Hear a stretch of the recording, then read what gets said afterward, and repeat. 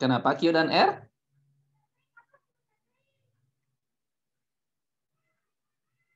Soalnya tadi itu kalau saya baca-baca di buku, mm, menurut saya sih masa jenisnya yang sama. Jadi saya pilih itu, Pak. Berapa masa jenisnya ini? Kalau yang R berapa?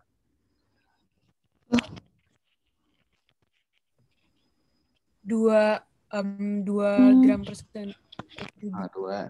Oke, sip. Yang ini tinggal em, masa jenis itu masa per volume ya. Jadi yang ini 100 bagi 50, ini masa jenisnya 2, yang ini 100 per 50. Kalau yang ini du- 200 per 50 berarti 4 ya masa jenisnya. Kalau yang ini 200 per 102 dan yang ini 100 per 101. Berarti yang sejenis itu ini R dan Q atau Q dan R. Oke, sip. Nice. Eh, nggak ada pertanyaan yang ini? Enggak. Pak, Ya? saya mau ke toilet dulu boleh gak? Oh boleh silahkan boleh. Mangga. Oke. Kalau nomor dua nomor dua tuh nah yang mana ini? Anis pilih yang mana ini? Soalnya eh, saya buat bahasa Inggris ya kemungkinan eh, soalnya ada satu atau dua soal gitu berbahasa Inggris. Satu atau dua soal berbahasa Inggris gitu. Soalnya bahasa Indonesia cuman paling ada satu atau dua soal berbahasa Inggris Saya jawab D, Pak. D, eh, D itu apa artinya nih yang D? Katanya apa nih? Hmm, tidak ada kendaraan yang melewati batas kecepatan. Oh, tidak ada gitu ya. Oke, kenapa tidak ada? Tadi saya hitung ke kilometer.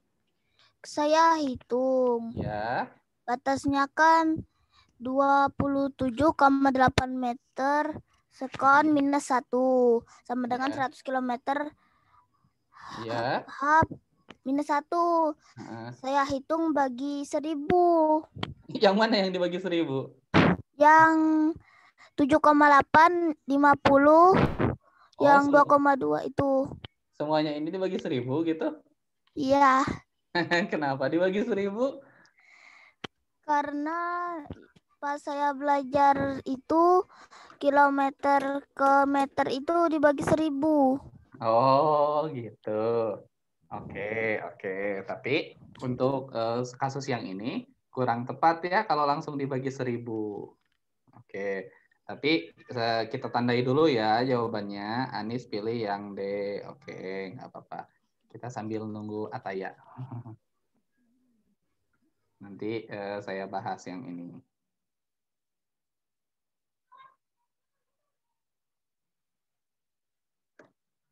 Ups.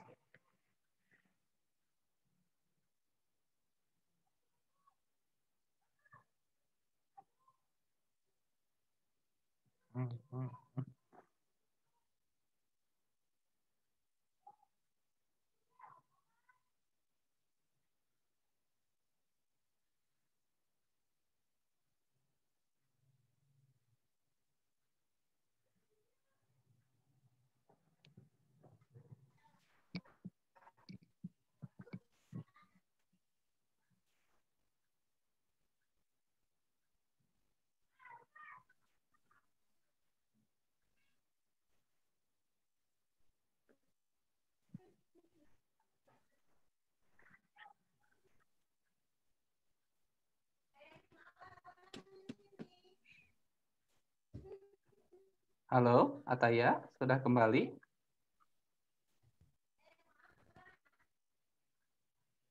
Ah, halo Anis. Halo, Pak. Oke, kita sambil bahas ya yang ini ya, gimana caranya. Oke, yang ini tuh katanya gini, diagram di bawah ini menunjukkan empat mobil berjalan satu sama lain di eh, jalan tol, Island Highway di jalan tol ya. Mobil polisi, the police car, mobil polisi yang mobil P katanya, traveling at eh, berjalan dengan kecepatan 22,2 meter per sekon ke arah is. Is itu ke mana is? Timur, Pak. Oh, timur ya. Oh iya, Ataya udah kembali. Baru Pak. Nah, Baru. Oke. Ataya yang ini pilihannya yang mana? Bentar, saya lihat dulu. Oke, oke.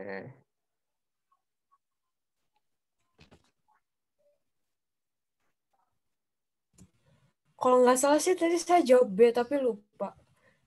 Oke, yang B ya. Coba kita tandai dulu. Ataya B, eh, Anis tadi pilih D. Saya lupa saya pilih yang mana ya. Coba kita lihat dulu deh. Oke, kita eh, bahas ya. nggak apa-apa ya kalau ada soal yang nggak ngerti tidak dijawab. Oh, nggak apa-apa. Tapi karena soal ini apa namanya? Soal KSN ini tidak ada sistem minus. Ada sistem minus nggak sih di petunjuknya? Coba dilihat dulu nanti petunjuknya baik Ada. aja. Kalau Ada. sudah lewat sistem minus di pembobotan, Pak. Oh, kalau ada sistem minus beresiko itu kalau nggak tahu dijawab terus ya. gitu. Tapi eh, sebisa mungkin dijawab ya dan harus bisa gitu. Oke, kita balik lagi ke topik kita di sini. Ini 22,2 meter per sekon ke arah timur. Yang ini yang P nih. 22,2 yang P. 22,2 meter per sekon. Arahnya ke sana ke timur. Timur itu ke sana kan kalau kita bikin mata angin gini kan? Gimana ya? Di sinilah. Ini barat, west, east, north gitu ya. Gini kan? South gitu kan? Oke, sekarang kita lihat katanya.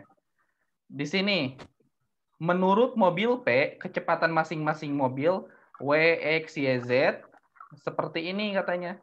Eh, mobil W mana yang W? Yang ini nih, mobil W katanya 7,8 meter per sekon ke timur, ke sini.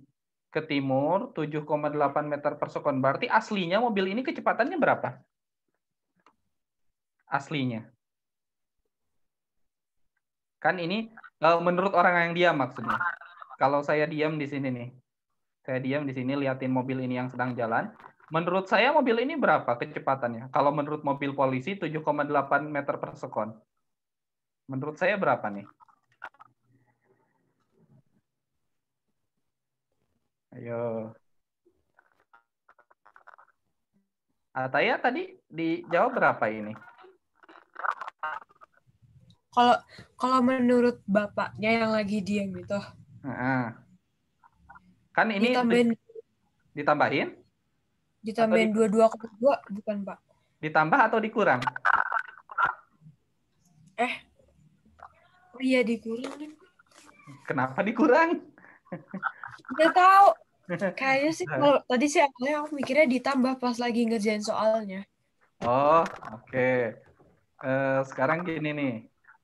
Kalau misalkan saya naik motor ke sini, iya saya terbang ke sana naik motor, kecepatannya 10 meter per sekon.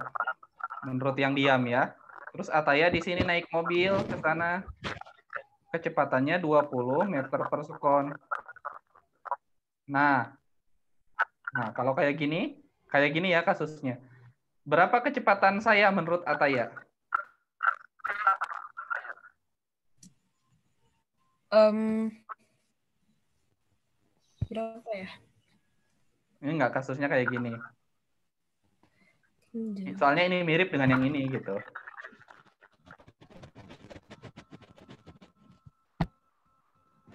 Ini 10 ke sana, Ataya ke sini 20. Berapa kecepatan saya menurut Ataya gitu?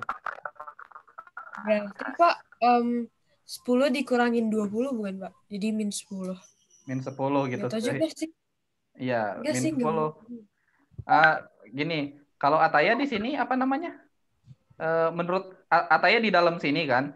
Nah, menurut Ataya, Ataya kan diam. Eh, kok hilang? Oh, menurut Ataya, Ataya kan diam, nggak gerak kan? Kan di dalam mobil gitu. Ah, saya nggak gerak. Orang di luar aja sedang gerak ke belakang dengan kecepatan 20 meter per sekon. Ngerasanya gitu kan? Nah, berarti Iya. Iya, berarti betul kecepatan saya itu tinggal 10 minus 20. Jadi min 10 meter per sekon. Min 10 meter per sekon. Min 10 meter per sekon artinya eh, ini tuh apa namanya? Saya sedang, menurut Ataya, saya sedang ke belakang bergerak dengan kecepatan 10 meter per sekon. Oke, berarti yang yang ini tadi Balik lagi ke yang tadi di, di, di jumlah atau dikurang? Yang ini? Tadi pas Ataya ngerjain di jumlah ya? Iya. Oke. Dan jawabannya betul di jumlah ya. Kenapa? Karena menurut polisi, menurut polisi semua orang di luar sini, semua orang di luar sini sedang bergerak ke belakang dengan kecepatan 22,2 meter per sekon. Itu menurut polisi. Sehingga kalau yang ini berjalan 7,8 eh, meter per sekon ke arah timur, berarti dia itu lebih besar 7,8 meter per sekon dari 22. Kecepatan aslinya tinggal dijumlahin. Jadi berapa di sini? 22.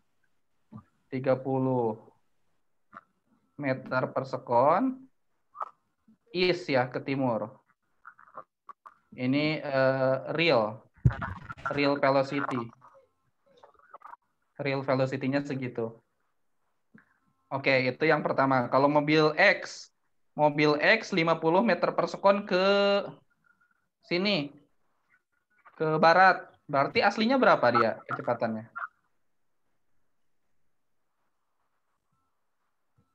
Halo Anis. Halo. Nah, Ya, aslinya berarti kecepatannya berapa ini mobil X ini? Kan tadi eh, kata polisi 50 meter per sekon ke barat. Aslinya berarti kecepatannya berapa ini? 72,2 enggak, Pak? Oh, 72. Wah, ini kalau ini kasusnya dikurangi ya. Kenapa dikurangi kan? Eh, dia tuh ya gerak ke sana, gerak ke sana. Jadi makin cepat, makin cepat menurut polisi.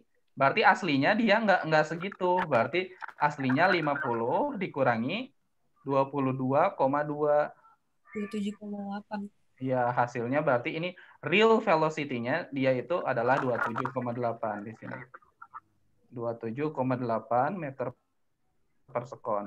Ke oh, mana arahnya? Benar Jawaban saya tadi salah, Pak. Oh, oke. Okay.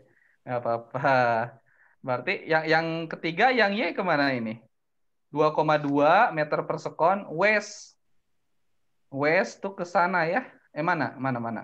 Mobil X. Mobil X ke sini. Berarti dia itu aslinya 20 ya? Pak, kok tapi lampunya ke depan, Pak? Apanya? Lampu mobil Y-nya lampu mobil Y. Iya, mobil Y itu kan dia eh, mobil Y sedang bergerak ke depan nih. Sedang bergerak ke depan ke sana. Tapi menurut polisi kecepatannya 2,2 meter ke sini ke belakang. Artinya dia sedang bergerak ke sana ke berapa? Eh, iya, artinya dia sedang bergerak ke sini dengan kecepatan berapa? 20 kan? Oh iya iya iya Iya.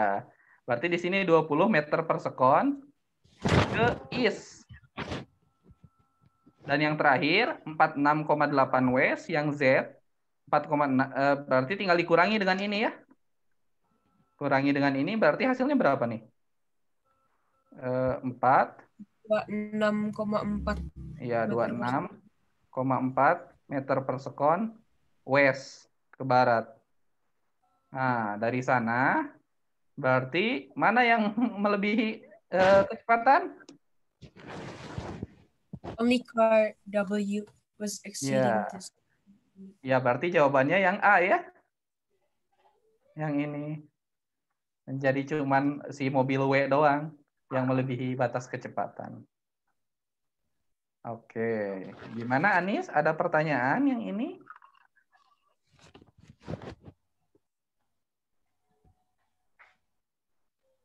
Paham Ataya? Paham Pak. Oke. Paham Pak. Jadi nggak langsung dibagi seribu ya Anis? Kita harus iya, di breakdown dulu. Oke. Nah, kalau nomor tiga ini ke mana ini?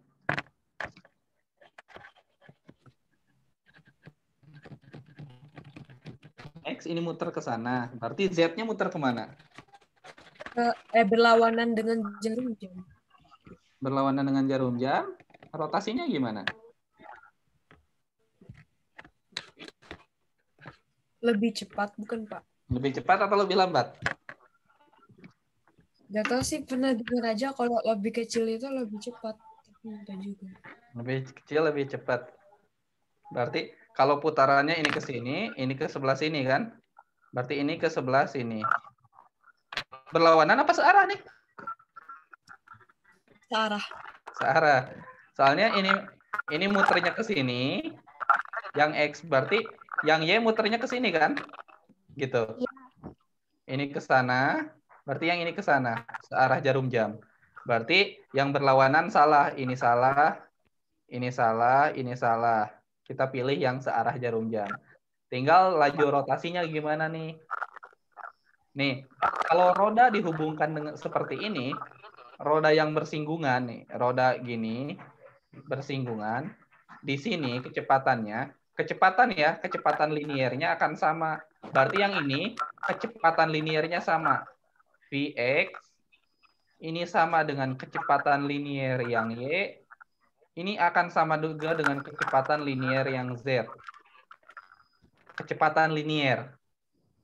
Jadi kecepatan titik ini, titik ini akan sama.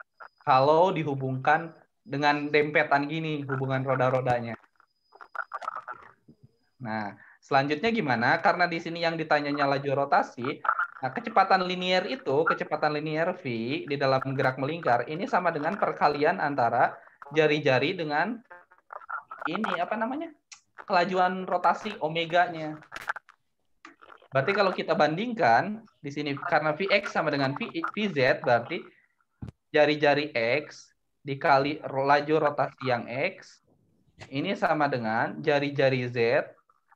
Kalau ini jari-jarinya Z misal R besar, ini R kecil. R kecil gitu dikali omega Z. Maka dari sini kita dapatkan bahwa omega Z itu akan sama dengan R kecil dibagi R besar omega X. Nah, R kecil dikali eh, R kecil bagi R besar ini kan lebih kecil dari satu kan? Ini kan R-nya kecil, yang ini besar, berarti lebih kecil dari satu dong ini yang di dalam kurung. Misal 0,8 atau 0,7, pokoknya eh, berapapun lah bentuknya pecahan dan lebih kecil dari satu gitu. Paham sampai sini? Paham, Pak. Ya, karena lebih Paham. kecil dari satu dikali omega x berarti hasilnya jadi lebih kecil dong. Contoh 0,5 dikali 7. Hasilnya pasti lebih kecil dari 7. Bilangan yang 0,0, kalau dikalikan dengan bilangan suatu bilangan hasilnya pasti lebih kecil dari bilangan itu. Iya kan? 0,3 dikali 9 pasti lebih kecil dari 9 hasilnya. Nah, berarti di sini karena ini lebih kecil dari satu, kita dapatkan bahwa omega z ini pasti lebih kecil daripada omega x. Sehingga kelajuan rotasi yang z lebih kecil daripada kelajuan rotasi yang x. Yang mana tuh? Searah jarum Yang jam. B ya, Pak. Dan rotasinya lebih ram- lambat dari, ya, berarti yang ini ya. Hmm. Gitu. Tadi jawabannya gimana? Yang B juga atau enggak? Kurang lebih segitu ya. Hmm, kurang lebih begitu caranya. Nah, ada pertanyaan yang ini?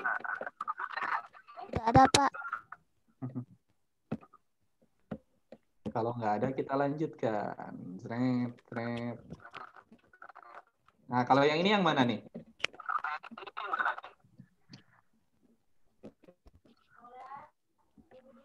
Kalau saya itu B, Pak. B. Ataya yang mana? Bentar, Pak. Bentar. Yang pasti bukan si auto, dia saya jawabnya. Antara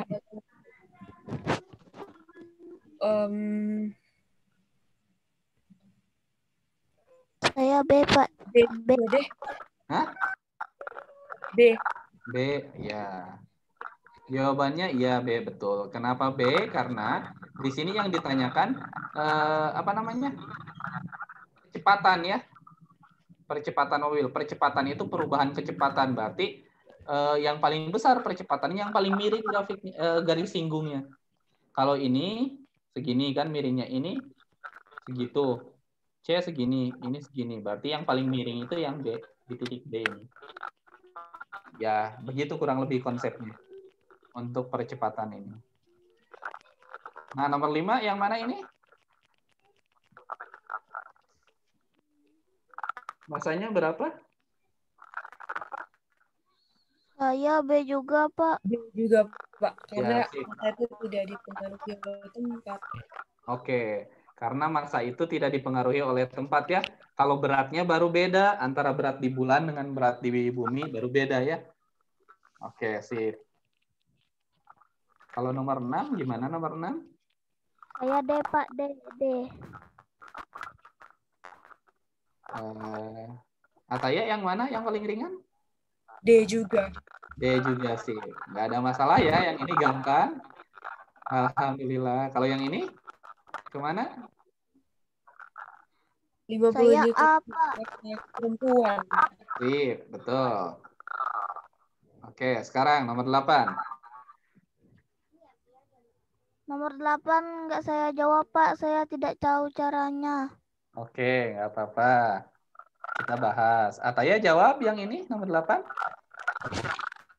Bentar, tapi saya mau ngitung lagi, jadi takut salah. Oh, nggak apa-apa, nggak apa-apa.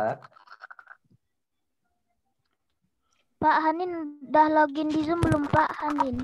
Hanin, coba kita lihat. Hanin udah adakah? Halo Hanin, sudah ada Hanin? Ada sih di Zoom ini. Tapi eh, Kayak gak aktif ya, Pak. iya. Eh, apakah bermasalah koneksinya gitu ya? Kurang tahu saya. Halo Hanin. Oh, masih belum nyambung ya sama Hanin. Oke, nggak apa-apa. Kita tunggu. Oh, Ataya ngitung lagi yang ini nomor 8? Enggak, udah Pak, saya saya tadi kan nggak jawab, tapi kalau Hmm. sekarang tadi coba jawab tapi nggak tahu ah. Nah, nggak apa-apa. Berapa, berapa, berapa?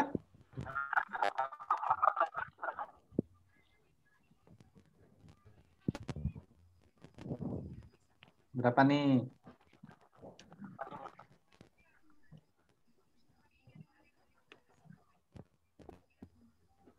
Nggak tahu Pak. Nggak tahu. Ya udah kita bahas ya. Di sini katanya soalnya eh, whiteboard ya. Lihat soalnya dulu. Oh.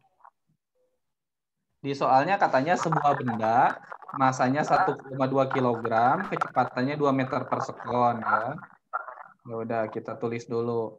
Masanya masanya 1,2 kg. Dia bergerak dengan kecepatan 2 meter per sekon. Kemudian katanya ada gaya 4 Newton bekerja pada benda tersebut sehingga kecepatannya berubah menjadi 5 meter per sekon. Eh gimana ini? Oh gini. Oh ini ada benda taruh lagi nih. Awalnya 2 meter per sekon. Masanya 1,2 kg. Terus ada gaya di sini 4 Newton. Sehingga kecepatannya berubah menjadi eh, 5 meter per sekon. Oh, ada motor lewat bentar. Oke. Pertanyaannya, berapa lama gaya ini bekerja? Gini, kita bisa pakai hukum Newton kan? Kayak kemarin, sigma F sama dengan M kali A kan? Nah, di sini percepatannya di soal ini tidak disebutkan secara langsung. Maka bisa kita ubah percepatannya itu adalah perubahan kecepatan setiap satu satuan waktu kan? Eh, maaf salah tulis.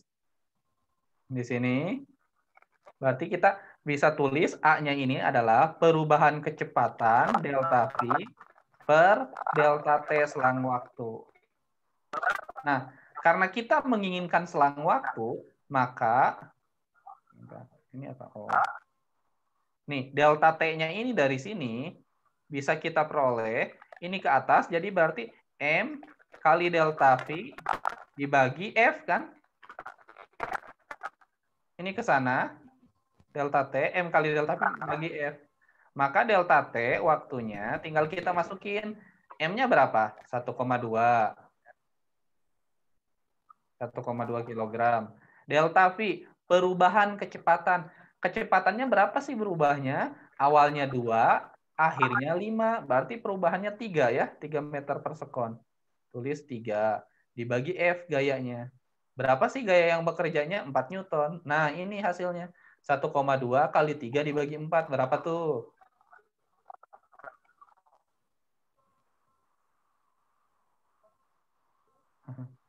Ini 3,6 bagi 4, 0,9 ya. 0,9 sekon. Adakah jawabannya? Kita lihat. Oh. A, Pak. Ya, ya. Ada. Gimana? A. Ada. Iya, ada. Kurang lebih seperti ini caranya. Jadi, kita pakai hukum Newton. Cuman di hukum Newton kan sigma F sama dengan MA, ini A-nya tidak disebutkan langsung di soal. Seperti kemarin, kita ubah A-nya itu adalah perubahan kecepatan setiap satu satuan waktu. Di soal ini menginginkan waktunya, maka kita tata ulang. Ini pindahin ke sana, ini ke bawah ya. Oke, di sini ada pertanyaan, silahkan. Dari Anis atau Ataya atau Hanin juga silahkan kalau masih ada pertanyaan yang ini. Enggak ada, Pak. Udah paham. Iya, Pak. Nggak ada. Paham? Paham sekarang yang ini ya? Oke. Oh, mau di eh, apa mau ditulis mau di screenshot dulu yang ini atau nanti juga saya emang eh, kasih pembahasannya sih cuman harus paham gitu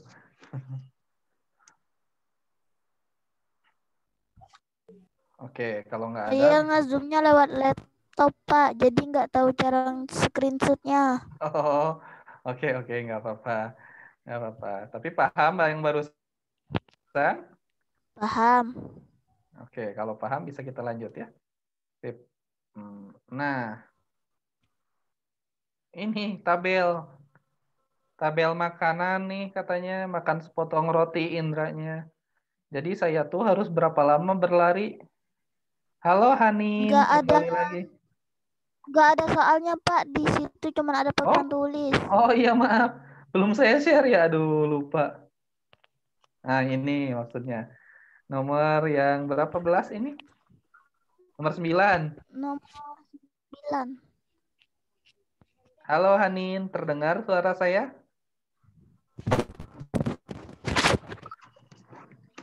Saya jawab C, Pak.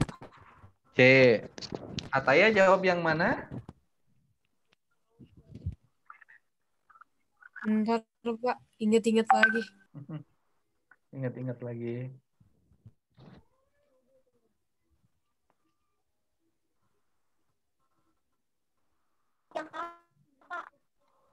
Halo Hanin,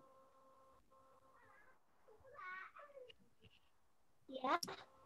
terdengar Pak. suara saya? Saya Ya, jawab saya A, Pak. jawab yang A. Oh iya. Hanin yang A ya, Eh, Anis yang C. Ya, kita lihat di. Hitung saya, Pak. Oh, sepotong rotinya energi totalnya 300 kilojoule katanya ya. Saya tuh lari setiap menitnya 30 kilojoule. Berarti biar eh, habis biar habis 300 kilojoule, saya harus lari selama 10 menit ya. Karena totalnya harus 300 kilojoule. Oke, paham yang ini ya? Paham, Pak. Oke. Nah, nomor 10 sampai mana ini nomor 10?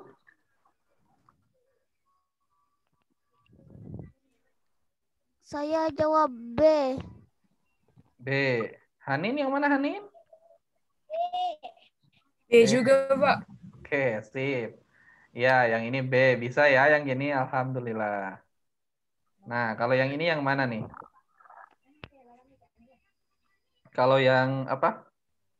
Nomor 11, kuantitas mana nih? Sebuah box Saya M, yang eh, mana? A, A, A. A, M dan Y. M dan Y. Kalau Hanin yang mana Hanin? Uh, B, Pak. B. Ataya yang mana? Uh, bentar. Oleh gaya gravitasi kan? Uh -uh. Hmm. B kayaknya. B ya, yang ini. Oke. Kita lihat oleh gaya gravitasi pindah ke sini, usaha itu kan e, gaya kali perpindahan kan? Usaha itu gaya kali perpindahan. Nah, usaha oleh gaya gravitasi kalau naikin ke sini berarti gayanya apa? Gaya berat, gaya gravitasi. W, perpindahannya mana? Dari sini ke atas. X yang ini. Berarti usahanya adalah W kali X. Sehingga yang diperlukan adalah W dan X. Yang B ini.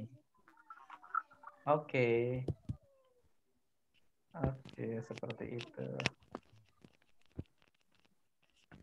Nah. Kalau ini kesimpulannya yang mana?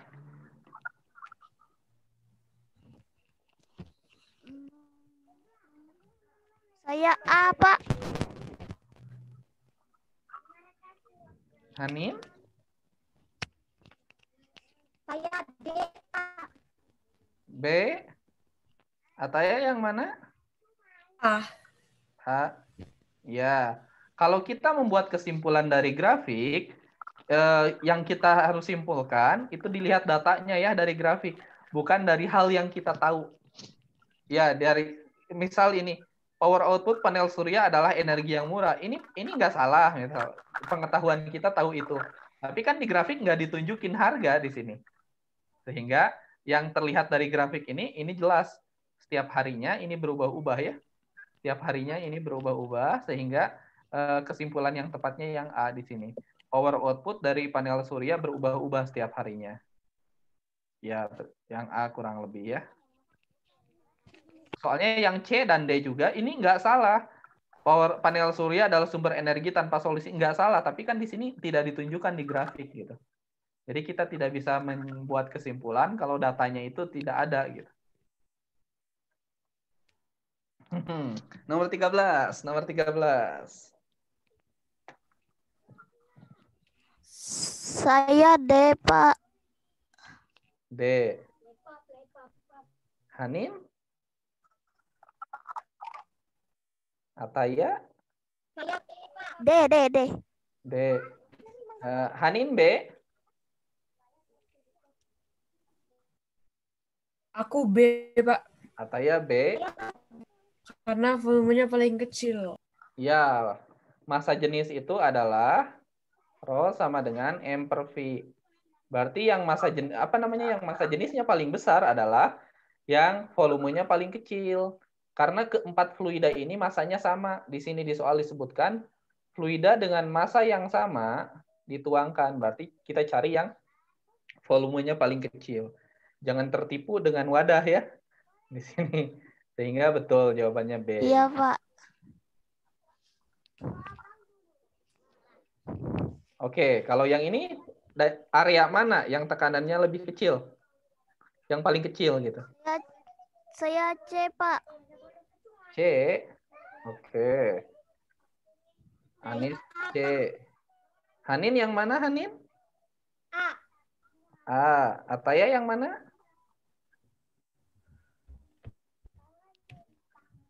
Um, kalau yang harus jadi alas balok itu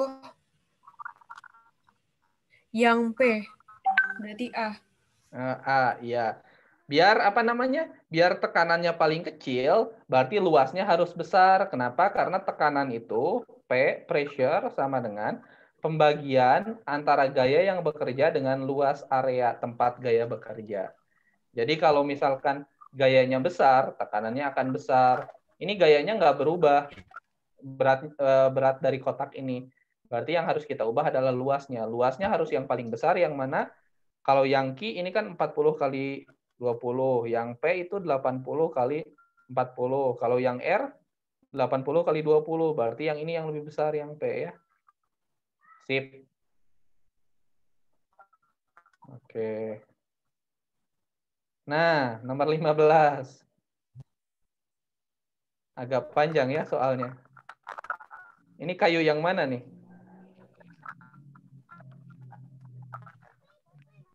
Saya C, Pak. C.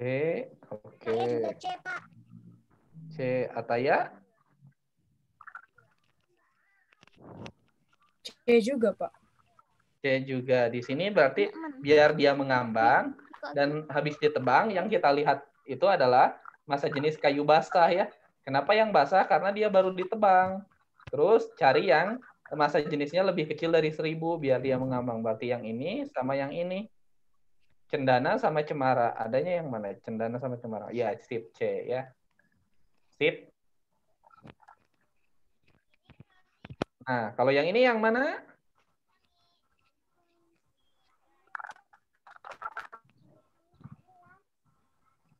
Enam belas tuh. Saya C, Pak. C. Saya juga C, Pak. C. Ataya? C kayaknya. C. Oke, Kayaknya. sip. Sip, betul. Jawabannya C ya, karena eh, titik acuan pada termometer itu, eh, pada termometer Celcius adalah titik 0 dan 100-nya. Titik lebur es dan titik didih air. Oke, 17.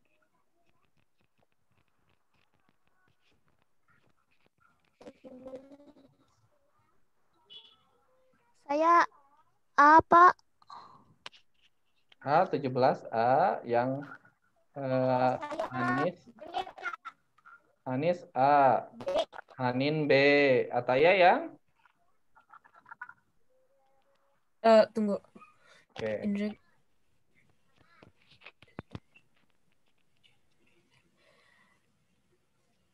Hmm, kayaknya sih B. B di sini. Ataya pilih B. Oke, kita lihat soalnya ya. Katanya, Indra ingin mengukur akurasi dari digital, termometer digitalnya. Eh, temperatur dari eh, campuran es dan air yang diaduk merata harusnya suhunya 0 derajat. Harusnya gitu ya. Harusnya 0 derajat suhunya. Diagram di bawah ini menunjukkan hasil termometer Indra. Berarti ini apa? 1,2 derajat. Harusnya 0 ya. Berarti termometer saya itu suhunya kelebihan dong. Iya nggak? Ya. Kelebihan 1,2 derajat Celcius. Kelebihannya. Oke. Jadi dari sini saya tahu bahwa termometer saya itu lebih tinggi ngukurnya 1,2 derajat. Kemudian di sini Indra mengukur temperaturnya, temperatur freezernya. Termometernya menunjukkan angka minus 12,8 derajat Celcius. Berapa suhu eh, freezer yang sebenarnya? Berapa suhu freezer yang Iya, sebenarnya? Mas, saya boleh ganti jawaban nggak? Boleh silakan. Jadi D aja. Jadi D gitu ya. Berarti jawabannya eh, gimana? Ini tuh minus 12,8 itu 1,2 derajat lebih tinggi. Berarti aslinya harus kita kurangi ya. Kurangi 1,2 karena eh, termometer saya itu membacanya 1,2 derajat lebih tinggi. Sehingga di sini harus kita kurangi, kurangi dengan 1,2 derajat Celcius hasilnya. Derajat Celcius juga hasilnya berarti berapa? 11,6 derajat Celcius. 14. 14 dong. Kan dikurangi, minus. dikurangi. Iya, min minus. Jadi minus 12,8 minus 1,2 kan? Bukan plus. Kalau plus iya 11, ini kan minus. Kenapa? Karena di awalnya itu termometer sayanya 1,2 derajat lebih tinggi. Berarti di sini hasilnya minus 14 derajat Celcius. Jadi jawabannya yang D ya, kurang lebih begitu. Ini kuncinya, kuncinya yang 1,2 derajat yang ini. Nah, karena sekarang masih latihan ya, jadi bebas boleh ganti-ganti jawaban. Kecuali nanti pas lombanya, pas lombanya mah kalau udah dikirim kita nggak bisa lagi ya.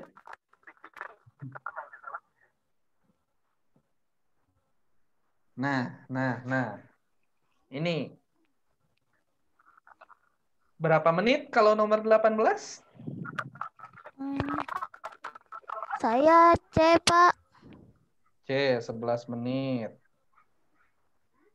Hanin yang mana Hanin? Kalau Berapa saya, menit? Berapa?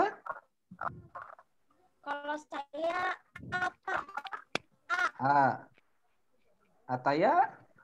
A juga. A juga. Oke. Dari gambar ini, apa namanya? Ingatnya untuk menjawab soal ini, ingat grafik suhu terhadap kalor ya. Suhu terhadap kalor. Jadi kalau miring, dia suhunya berubah. Kalau miring, suhunya berubah. Kalau datar, wujudnya yang berubah. Eh, suhunya enggak. Berarti di sini saat miring kayak gini suhunya berubah, saat da- datar wujudnya yang berubah. Ini suhunya berubah, wujudnya berubah dan seterusnya seperti itu. Berarti di sini dari 0 dari 0 menit di sini sampai 4 menit di sini lurus, berarti wujudnya sedang berubah. Ini berubah wujud. Kalau miring ini berubah suhunya. Kalau ini berubah lagi wujudnya. Kan dari sini ke sini berubah. Berarti dari wujud es menjadi air. Dari sini naik suhunya sampai 100. Dari 100 dari air berubah lagi wujudnya menjadi uap. Sehingga eh, di sini berapa lama waktu yang dibutuhkan untuk semua es mencair? Berarti sampai mendatarnya habis. Mendatarnya habis di sini sampai 4 sehingga waktunya 4 menit. Terlihat dari grafik ya. Kurang lebih seperti itu. Oke. Sip. Nah, nah, nah, nah, nah, nah. Nah. Nomor 19 yang mana nih?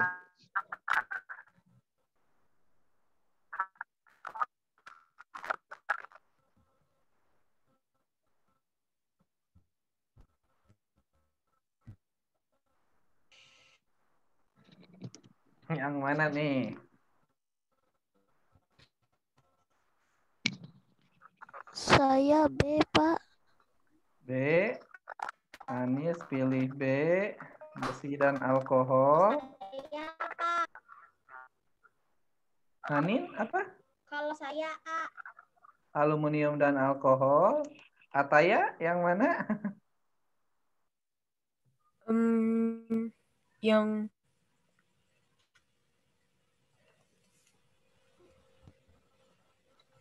bentar. Ya. Kan kalau logam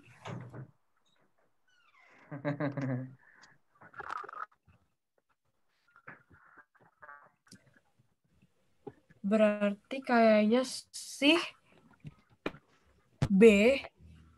Kayaknya B gitu ya. Oke, ini dipilih dua orang, ini dipilih satu orang. Kita lihat ya, gimana penjelasannya. Oke, ingat kembali kemarin, kalori jenis itu menggambarkan apa? Kalori jenis itu menggambarkan apa ini tuh? Jumlah itu Jumlah apa? energi yang Hmm, Energi ya. Enggak, pokoknya kalau misalnya kalor jenisnya semakin besar, dia kalor yang dibutuhkan untuk melepas atau mendapatkan eh energi kalornya itu lebih susah buat melepas Ya. kalor atau mendapatkan kalor. Ya. Ya. Jadi kalori jenis ini menggambarkan energi yang dibutuhkan untuk menaikkan atau menurunkan suhunya. Kalau menurunkan suhu berarti melepas energi ya. Jadi kalau betul kata Ataya, kalau kalori jenisnya gede, kalau jenisnya gede berarti dia butuh energi besar untuk naik suhunya. Kalau eh, kalau jenisnya kecil, berarti dia butuh energi kecil untuk naik suhunya.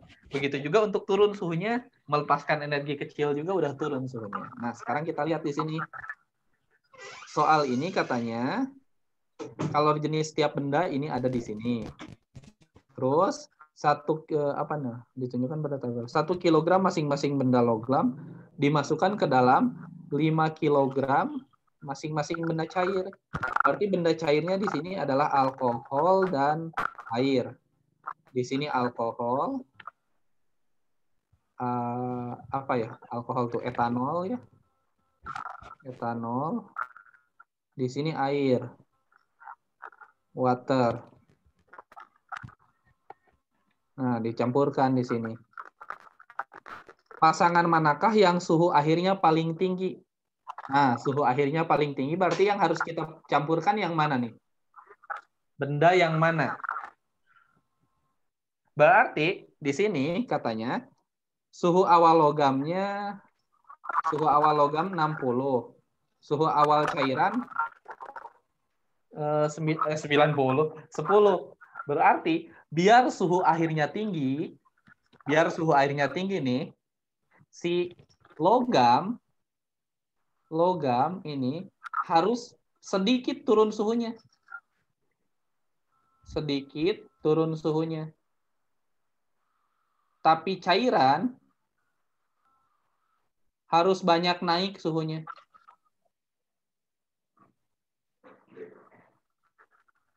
Paham nggak? Kenapa kayak gini?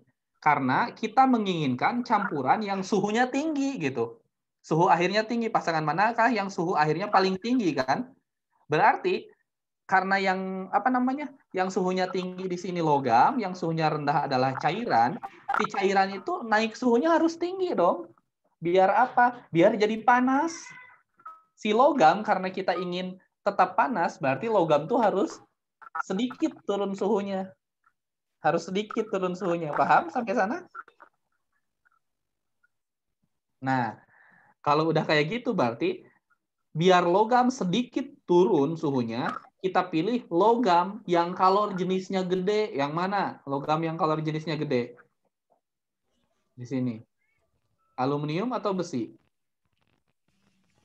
Aluminium. Aluminium. Aluminium ya, ini satu. Yang kedua, cairan harus banyak naik, harus banyak naik suhunya nih. Berarti kita harus pilih cairan yang kalor jenisnya kecil.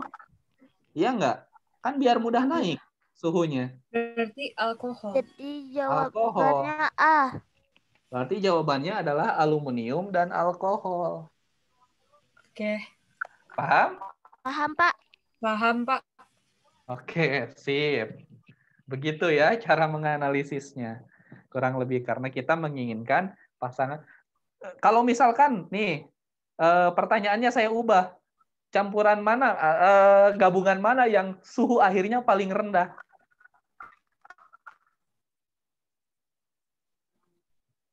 Suhu akhirnya paling rendah yang mana nih? Kalau saya ubah pertanyaannya. Besi dan air. Ya, besi dan air. Jadi si besinya biar banyak turun dan si airnya itu sedikit naik. Sip, besi dan air. Paham ya? Oke. Paham, Pak? Nah, ini kalau ini dari gambar ini berapa amplitudo dan panjang gelombangnya?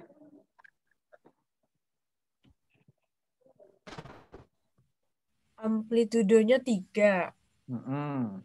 Terus Panjang gelombangnya itu 8. 8, amplitudo 3, panjang gelombang 8. Berarti pilihan yang eh, B. B ya. Hanin, halo.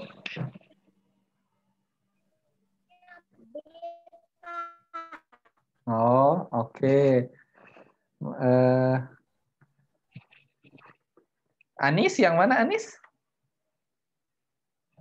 B juga, Pak. Oke, ini nggak ada masalah ya yang ini. Oke. Kalau nggak ada masalah, sip. Nah, ini. Yang ini berapa nih? Nomor 21 nih. Saya C, Pak. Anis C. Hanin apa? Ataya apa? B, Pak. Hah? 170. 170. Hanin B. Oke, kita lihat. Sip. Kita lihat di sini pecinta alam berada di dekat tebing. Ini pecinta alam di sini. Ada tebing di sini. Dia teriak katanya. Satu detik kemudian mendengar bunyi pantul teriakannya. Satu detik berarti bunyi jalan dari sini ke tebing, terus balik lagi ke sini, itu waktunya satu detik. Karena satu detik itu terdengar kembali, berarti si bunyi ini gerak ke sana, balik lagi ke sini, itu satu detik.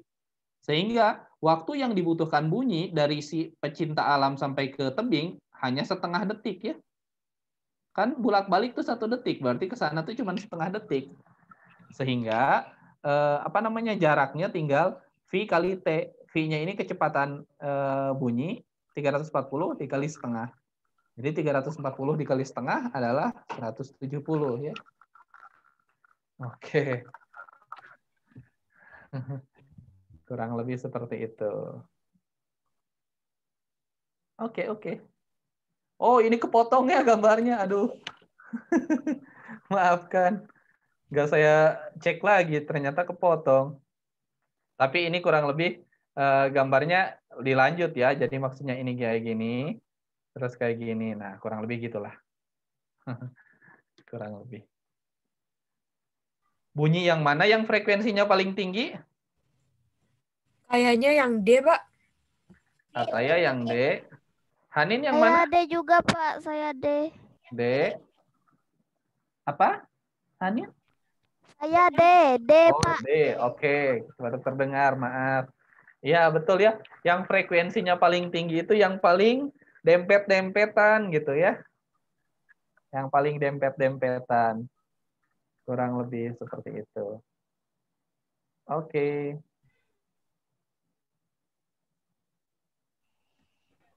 Oke, dua tiga.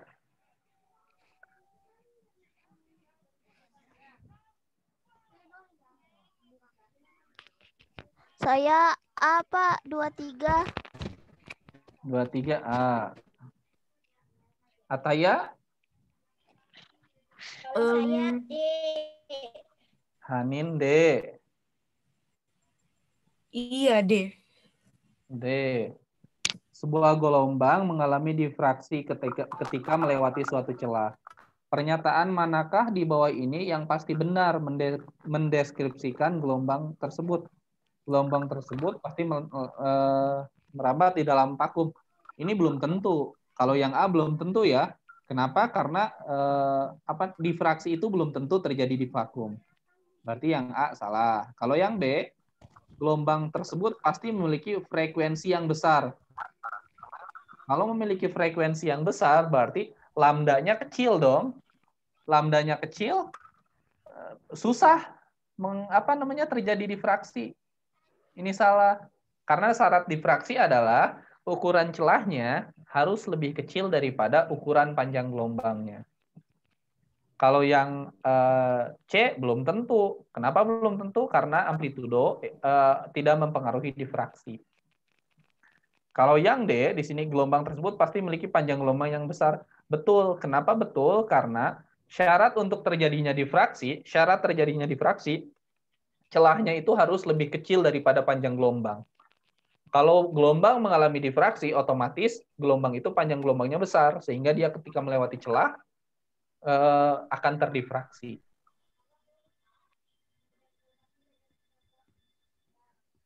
Oke, kita lanjut. Nah, ini Grutirada teler nomor 24. Saya hmm, D. Eh, nanti Pak, nanti saya lihat lagi. Iya Pak, saya D. D, oke. Yang lain yang mana?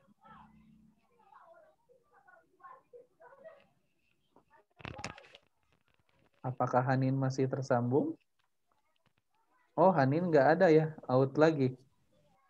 Oke, berarti tinggal Ataya. Ataya pilih yang mana? Em, tunggu. Guti. Guru tirada teler G. Berarti kayaknya antara A sama A sama B tapi nggak tahu. Ntar, aku inget-inget lagi.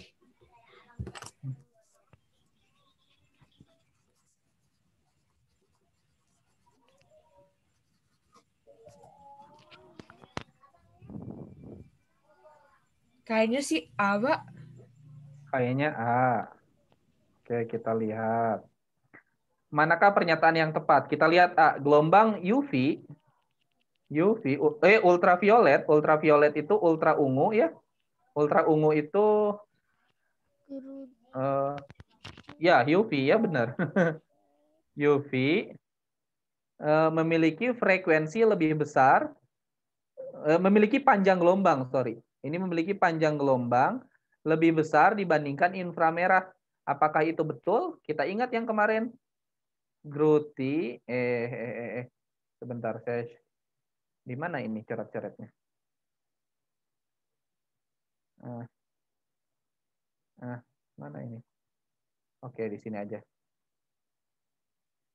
Gruti, rada, teler. Nah, kita lihat yang A. Ini urutan apa kemarin? Energi ya. Energi eh, dari sini tinggi ke sana rendah. Dari energi tinggi ke energi rendah. Atau dari frekuensi tinggi ke frekuensi rendah. Kalau panjang gelombang, dari panjang gelombang besar, eh, panjang gelombang kecil ke panjang gelombang besar. Nah, berarti di sini eh, frekuensi UV lebih besar daripada frekuensi inframerah, betul. Tapi kalau panjang gelombangnya harusnya inframerah yang lebih besar daripada UV. Berarti yang A ini kurang tepat. Karena di sini katanya UV ultraviolet memiliki panjang gelombang lebih besar dibandingkan inframerah. Berarti kurang tepat ya. Karena harusnya panjang gelombang UV itu lebih kecil daripada inframerah. Oke, kita lihat yang B. Cahaya Berarti biru. D, Pak. Apa? D, aku ganti jawaban deh. Oke, kita periksa. Cahaya biru memiliki frekuensi lebih besar daripada sinar X. Ini salah. Cahaya biru itu di cahaya tampak ya. Sinar X itu ronsen, berarti yang B juga salah. Harusnya cahaya biru itu frekuensinya lebih rendah. Kalau yang C, gelombang radio memiliki frekuensi lebih besar daripada sinar gamma. Salah. Radio itu di sini, gamma itu di sini ya. Salah juga. Ini. Berarti betul ini D. Oke. Nah, gitu kurang lebih ya. Ingat itu senjata utama kita, Gruti rada teler itu urutan dari energi besar ke energi kecil atau frekuensi besar ke frekuensi kecil. Kalau panjang gelombang, sebaliknya dari panjang gelombang kecil, eh, ya betul, dari panjang gelombang kecil ke panjang gelombang yang besar. Hah, kurang lebih seperti itu. Oke, kita lihat nomor 25. Gimana ini nomor 25? Saya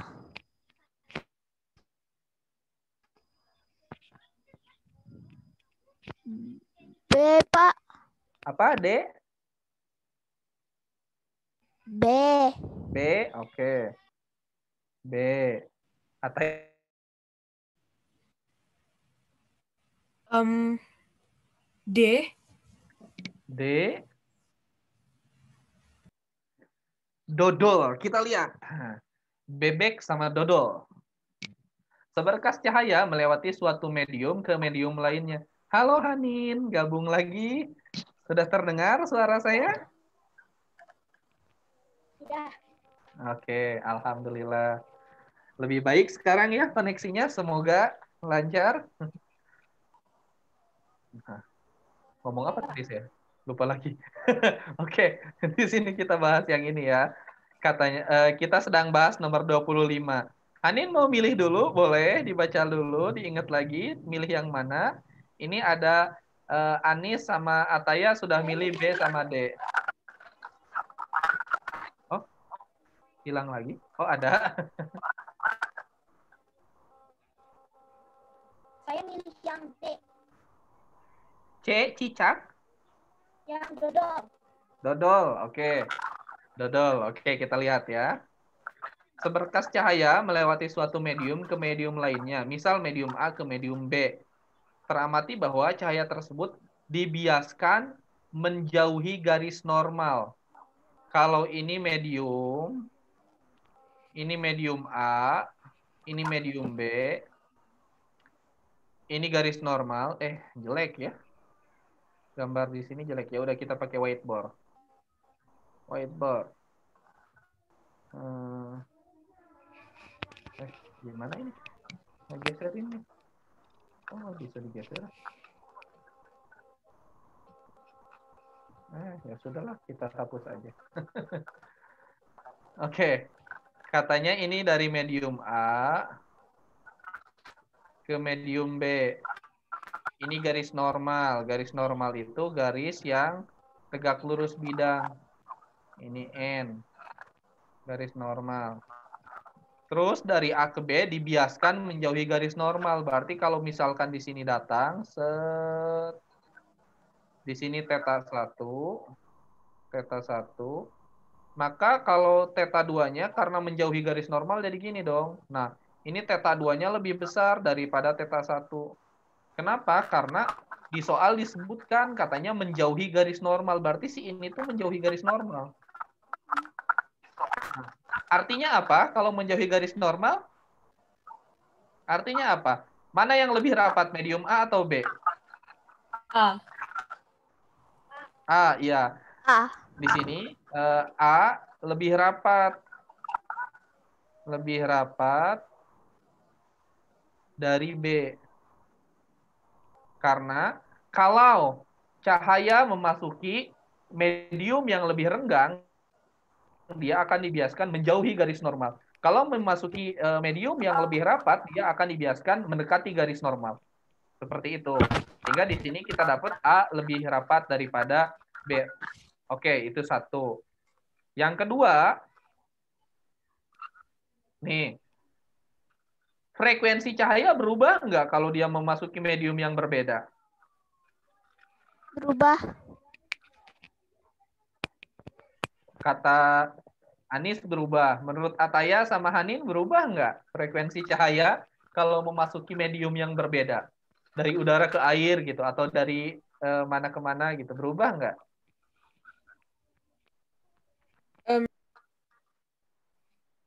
Karena tadi saya jawab yang berubah, jadi berubah. berubah. Menurut Ataya berubah nggak? Iya kan. Soalnya kan kecepatannya pasti berubah kan kalau melewati medium yang berbeda. Iya, kecepatannya berubah. Kalau frekuensinya berubah nggak? Di antara lambda atau frekuensinya ada yang berubah.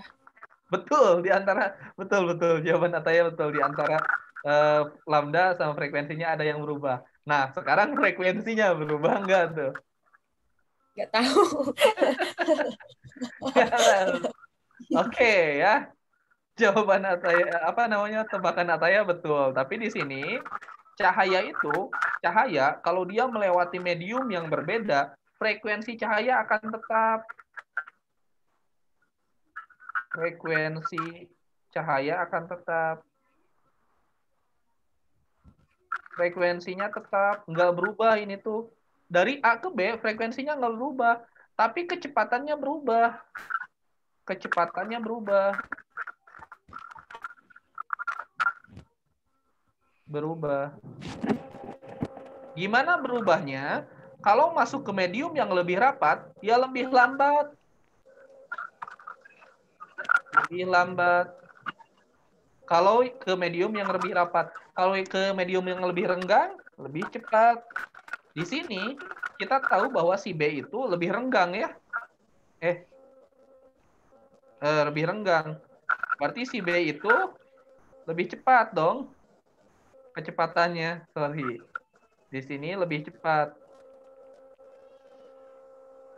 Lebih cepat. Jadi si cahaya akan lebih cepat di sini. Otomatis panjang gelombangnya menjadi lebih besar juga. Yang berubah itu panjang gelombang dengan eh, kecepatan, frekuensinya tetap. Nah, konsepnya seperti itu. Sekarang kita lihat coba di pilihannya seperti apa. Di sini. Cepat rambat cahaya akan semakin besar. Betul atau salah ini? Salah, Pak. Kenapa salah? Karena kalau itu tuh kata guru saya, kalau misalnya dia lebih rapat, itu dia kecepatannya lebih cepat, katanya. Kata Oh gitu. Berarti di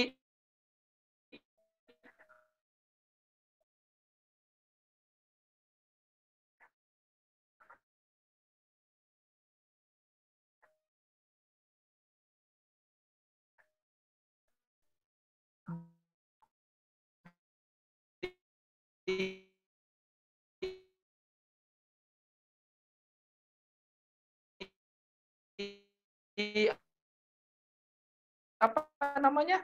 Di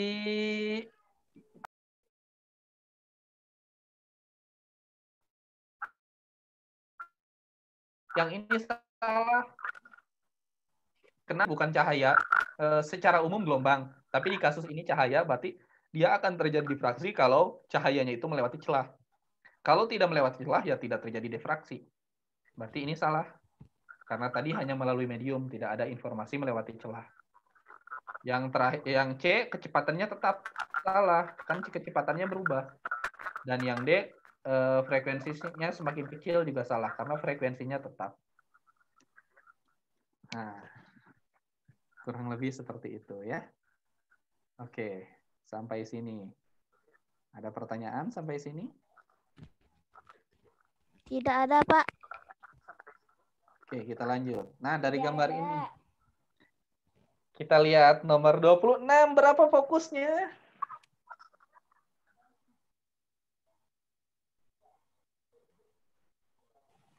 10 bukan, Pak? 10. Ataya pilih 10. Hanin Saya sama 10 juga, Pak. 10. Hanin? Eh, Hanin. Eh, Anis?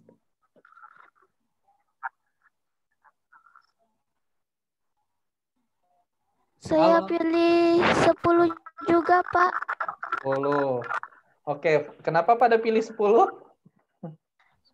Hmm, Karena dikasih taunya gitu biasanya. Gimana dikasih taunya? Jadi em, kalau yang paling depan itu jarak benda kayaknya.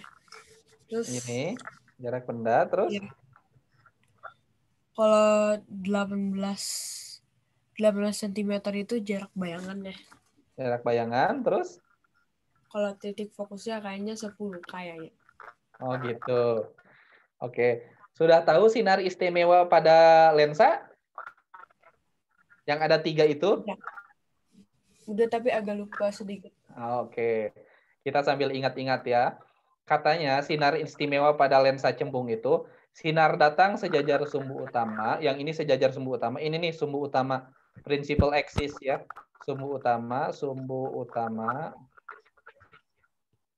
Ini garis yang putus-putus ini sumbu utama nih. Eh, sinar datang sejajar sumbu utama akan dibiaskan melalui titik fokus. Nah, ini dibiaskan melalui titik fokus. Berarti ini titik fokusnya dong. Nah, yang saya merahin inilah titik fokusnya. Sehingga dia dibiaskan ke sini ke titik fokus F. Kelihatan deh dari gambarnya fokusnya itu 10. Betul jawabannya 10. Itu dari sifat sinar eh, istimewa yang pertama. Sinar datang sejajar sumbu utama akan dibiaskan melalui titik fokus. Yang kedua, kita sambil ingat-ingat ya. Jadi sinar datang menuju pusat kelengkungan cermin, ini pusat kelengkungan cermin set ke sini akan diteruskan akan diteruskan seolah-olah dari pusat kelengkungan cermin dari sini tuh diteruskan sana. Betul. Satu lagi. Sinar datang dari titik fokus. Eh sinar datang yang ini melalui melalui titik fokus. Tret, eh gambar saya jelek ya harusnya ini lurus. Harusnya lurus. Kalau titik fokusnya di sini berarti harusnya lurus ke sana. Akan dibiaskan sejajar sumbu utama gitu. Ke sana ya. Ke sana sejajar sumbu utama. Gambar saya nya jelek eh ini harusnya sinar datang melalui titik fokus ini. Eh kok jelek ya? Sinar datang melalui titik fokus akan dibiaskan sejajar sumbu utama. Ke sana sejajar sumbu utama. Cuman gambar saya nya jelek nggak bisain gambar ya. Jadi ada tiga eh, prinsip sinar utama pada ini, pada apa namanya cermin, cermin lensa. Ada cermin juga ada bukan hanya pada lensa. Oke. 27 yang mana ini?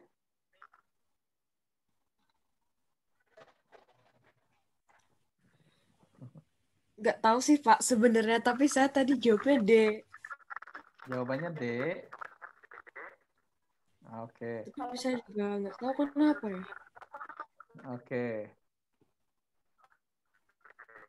Hanin sama eh, apa? Anis pilih yang mana ini? Ya, kalau yang ini saya nggak terlalu tahu, Pak. Jadi nggak saya jawab. Oh, nggak jawab. Hanin, jawab nggak? Saya tadi sih jawabnya C. C. Hanin jawabnya C. Oke. Tiga buah hambatan identik dirangkai dengan empat cara berbeda. Oke. Kita periksa caranya seperti apa aja katanya. Jika hambatan, jika hambatan dari dua buah susunannya dari dua cara adalah 4 dan 9, berapakah masing-masing hambatan? Tiga buah hambatan, oke, tiga buah hambatan ya. Ini masing-masing hambatannya berapa nilainya? Kita nggak tahu kan ini. Kita misalkan eh, hambatannya R. Oke, saya share screen yang baru di sini.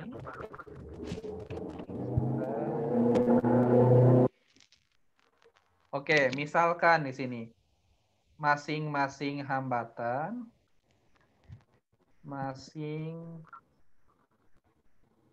masing hambatan adalah R.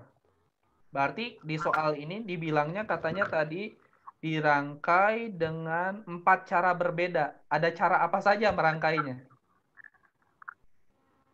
Ada cara apa aja nih? Seri dan Bisa seri, bisa paralel. Bisa seri, bisa paralel. Pertama, nih cara pertama, semuanya seri. Karena ada tiga hambatan, berarti semuanya seri. Kita rangkai semuanya seri gini. Berapa ini hambatan totalnya? Kalau ini R, ini R, ini R. 3R. Ya betul, 3R ya, tinggal dijumlahin. Kalau hambatannya semua seri, berarti ini 3R gitu. Cara kedua, gimana eh, nyusunnya? Semuanya paralel. Oke, boleh. Semuanya paralel. Satu, dua, tiga. Nah, gini. Semuanya paralel. Ini R, ini R, ini R. Hambatan totalnya berapa ini? Berarti jadi satu per R total ya. Kalau di sini,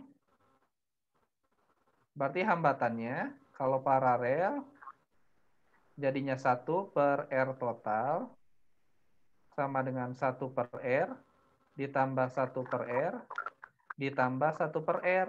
Kan ada tiga ya. Berarti ini jadi tiga per R ya. Jadi satu per R total sama dengan tiga per R. Jadi R totalnya R per 3 ya. Paham? Ini tinggal dibalik ya. Jadi R per 1 sama dengan R per 3 kan? Sampai sini oke? Oke, Pak. Oke. Karena di soal bilang ada empat cara, berarti kita harus cari lagi nih dua cara ini gimana? Dua lagi. Ini dua cara sudah. Cara yang ketiga gimana kemungkinannya? Kemungkinannya. Berarti bisa aja hambatan pertama ini satu, yang ini dua seri, gini. Yang ini satu, yang dua ini paralel, iya nggak? Bisa aja kita gambar eh, susun kayak gini kan? Paham? Paham, Pak? Oke. Oke.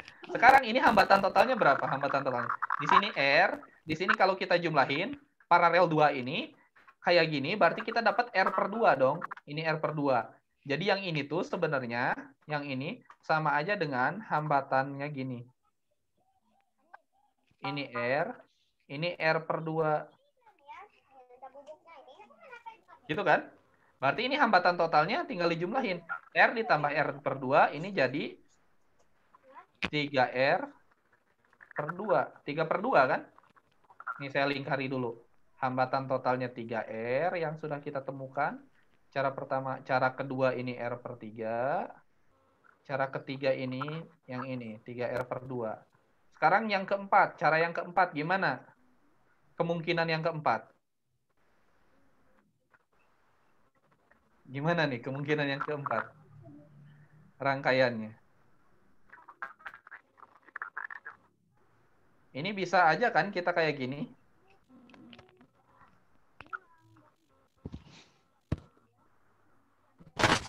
Ah, gini. Iya enggak? Boleh dong. Cara pertama yang ini, cara kedua yang ini, cara ketiga yang ini, cara keempat yang ini. Jadi kalau ini R, ini R, ini R, ini dua di atasnya seri kan? Jadi 2R, ini tuh sama dengan hambatannya kayak gini berarti. Ini sama dengan yang atas, bawah, ini R, ini 2R. Kan 2R itu dari ini seri. R tambah R, 2R. Berarti hambatan totalnya yang ini, yang ini bisa kita uh, cari dengan 1 per R total sama dengan 1 per 2R ditambah 1 per R. Jadinya berapa nih? 1 per R total. 2 per 2R ya, Pak. Hah? Ini 2, berarti di sini 2. 2 tambah 1, 3. 3 per 2R. Gitu kan? Sehingga dari sini kita dapetin. Ya. R totalnya adalah R totalnya adalah 2R per 3 ya. Nah, jadi dari keempat cara ini, keempat cara ini, kita dapatkan ini eh 2R per 3. Nah, hambatan pertama 3R, cara pertama. Cara kedua R per 3. Cara ketiga 3R per 2. Cara keempat adalah 2R per 3. Sekarang kita lihat di soalnya. Sekarang kita lihat di soalnya. Mana soal? Ini saya pindahin dulu. Di soalnya katanya, hambatannya dari dua susunannya adalah 4 ohm dan 9 ohm. Adalah 4 ohm dan 9 ohm. Di sini di soalnya dari dua susunannya adalah 4 ohm dan 9 ohm. Nah, kira-kira yang menghasilkan 4 sama 9 yang mana nih? Yang mana? Kalau 3R mungkin nggak dari 4 atau 9? 9 sih mungkin ya. Mungkin dari 9. 9 mungkin. Kalau misalkan 3R ini menghasilkan 9, berarti R-nya berapa? 3 kan? Iya nggak? Iya. Nah, coba 3. Kalau R-nya 3, masukin ke semua ini. Adakah yang hasilnya 4? Berarti di sini 3 per 3, ini hasilnya 1 ya. Kalau yang ini, 6, eh, 6 per 2, 3. Ini hasilnya 3. Kalau yang ini dua, nggak ada dong. Paham? Jadi nggak ada yang sembilan gitu. Eh nggak ada yang sembilan, nggak ada yang empat. Sehingga R tidak sama dengan tiga, nggak mungkin tiga nih. Paham? Paham, Pak. Oke, sekarang yang kedua. Yang mana nih kira-kira yang mungkin? Kalau R per 3 sama dengan 9, nggak, uh, ininya nggak yang 4 nggak mungkin juga. Berarti yang yang mungkin di sini, yang 9 tuh dia perkalian dengan bilangan ganjil. Coba yang ini. Kalau 3R per Berarti 2. R-nya sama dengan 6. Ya, kalau 3R per 2 sama dengan uh, 9, berarti dari sini kita dapat R-nya 6. R sama dengan 6. Kalau adakah yang hasilnya 4, kita masukin ke sini, 18 bukan. Ini dua ya. Ini masukin Ada, ke sini. Pak, yang terakhir. Ya, yang terakhir ini hasilnya 4. Jadi kemungkinan di sini adalah R-nya 6. Jadi susunannya adalah yang ini, susunan yang ini nih dengan yang ini. Jadi kita dapat R-nya 6 ya. Ada nggak jawabannya 6? Ada. Coba kita lihat. Ya 6 ya ada nih. B kurang lebih jawabannya. Oh, ada chat. Oh iya, absensi. Sebentar ya, saya copas dulu. Ini ada absensi buat nanti diisi. Nah, gitu. Jadi ini jawabannya 6 kurang lebih. Jawabannya 6. Caranya gimana? Caranya yang ini nih, yang agak panjang lumayan ya. Silakan kalau mau di screenshot atau mau ditulis boleh. Saya minum dulu bentar.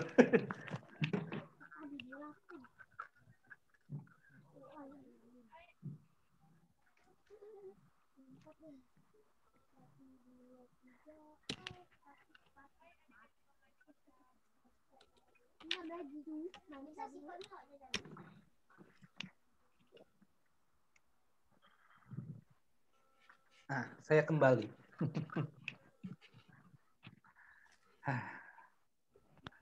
Gimana? Ada pertanyaan yang ini? Tidak, Pak. Ya, kalau yang ini, soal yang seperti ini tuh, eh, emang caranya kita memikirkan kira-kira kombinasinya gimana. Di soal ini dibilang ada empat kombinasi, ya udah kita pikirkan kombinasinya kira-kira gimana. Bisa seri semua, paralel semua, atau satu dan ini paralel, atau yang ini di atas seri di sini. Eh, yang atasnya seri diparalelkan dengan satu. Kemungkinannya kayak gitu ya. Kurang lebih. Oke. Kalau udah, mari kita lanjut ke nomor selanjutnya. Ke nomor selanjutnya. Oke, oke, oke. Mana nomor selanjutnya? Nah, ini. Yang mana ini?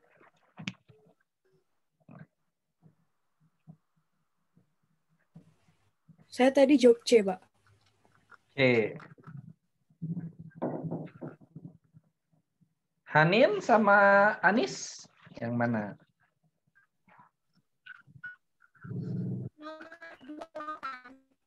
Ya. Kalau saya jawabnya dodol. Dodol. Oke, dodol. Oh. Kalau Anis?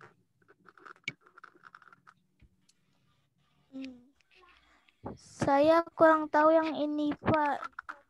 Oke. Jadi nggak saya jawab juga. Oke, kita bahas ya Nggak di sini. apa-apa kan, Pak? Ya nggak apa-apa. Nggak apa-apa, tapi eh, apa namanya? Harus bisa ya. Jadi makanya kita belajar gitu.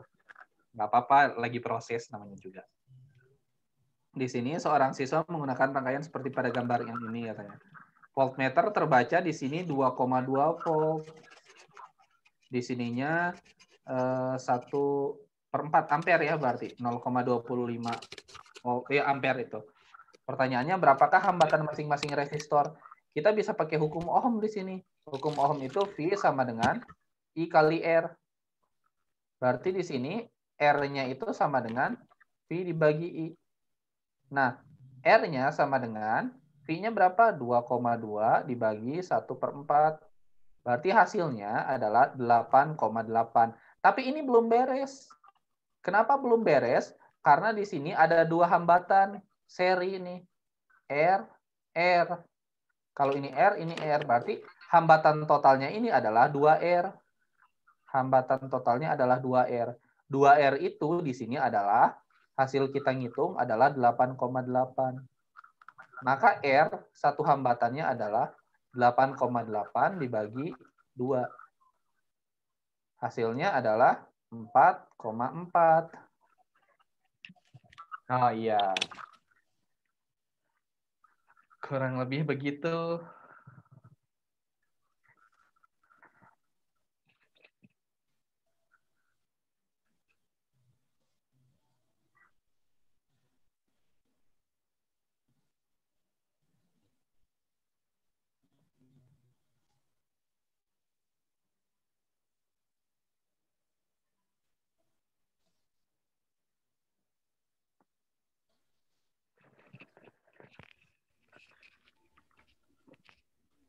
Oke. Sudah yang ini?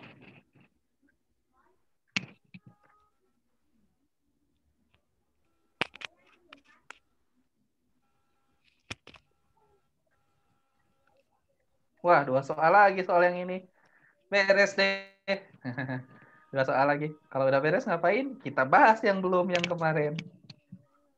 Nah, ini 29 yang mana nih? 29. Saya jawab C, Pak. C. Hanin? D. D. Ataya?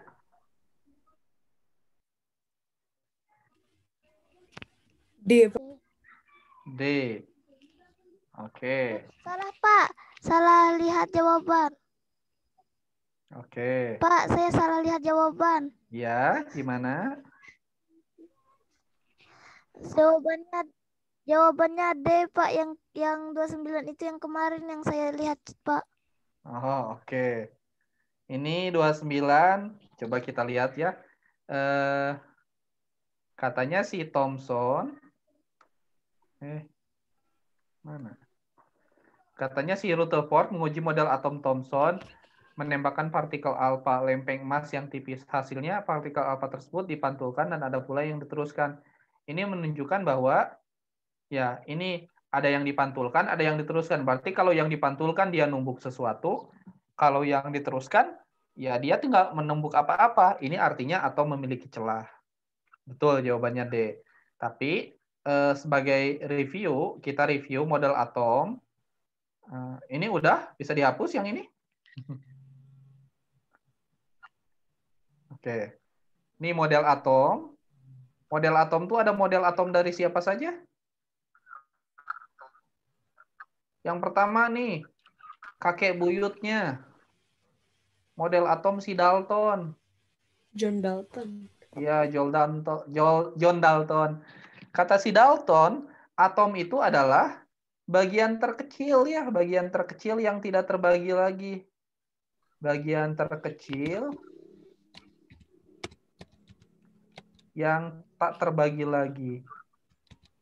Yang tidak dapat dibagi lagi. Jadi kata si Dalton, benda itu terdiri dari atom. Atom itu bagian yang kecil, nggak bisa dibagi lagi. Kalau misalkan ini pen, saya potong dua, bisa dibagi lagi kan. Potong-potong terus sampai terkecil sampai nggak terbagi lagi. Makanya kata si Dalton, atom itu bentuknya udah bulat aja gitu. Tapi bagian terkecil yang nggak bisa dibagi lagi. Begitu kata si Dalton. Terus kata si apa namanya? Dulu orang percaya karena emang eh, apa namanya? Nggak ada lagi bukti yang lebih lanjut. Ternyata setelah diselidiki sama si Thomson, sama si JJ Thomson nih, JJ Thomson, dia memanaskan apa namanya? Memanaskan filamen, terus ada eh, sinar elek eh, dari katoda yang keluar.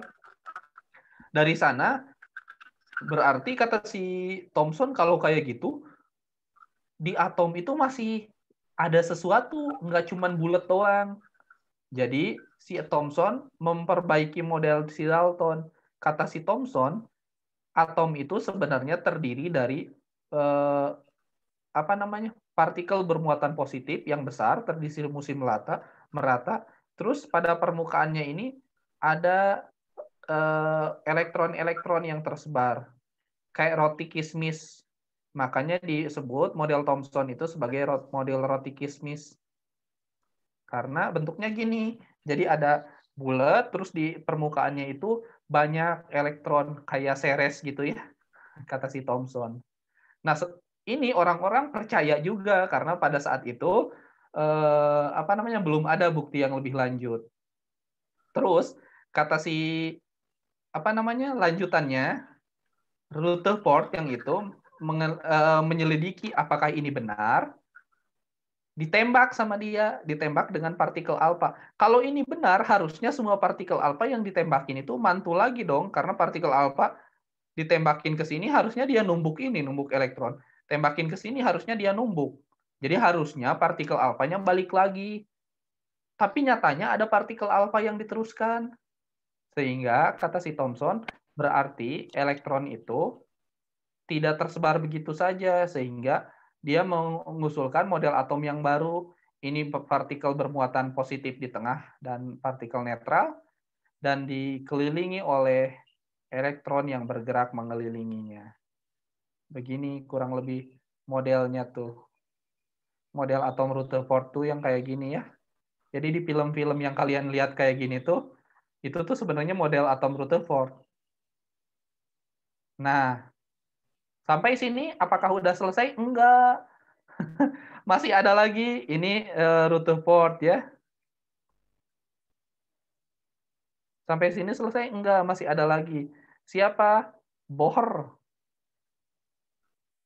Si Ernest eh, Bohr, dia nanya, gimana ini kok si elektronnya nggak ketarik ke pusat kayak gitu.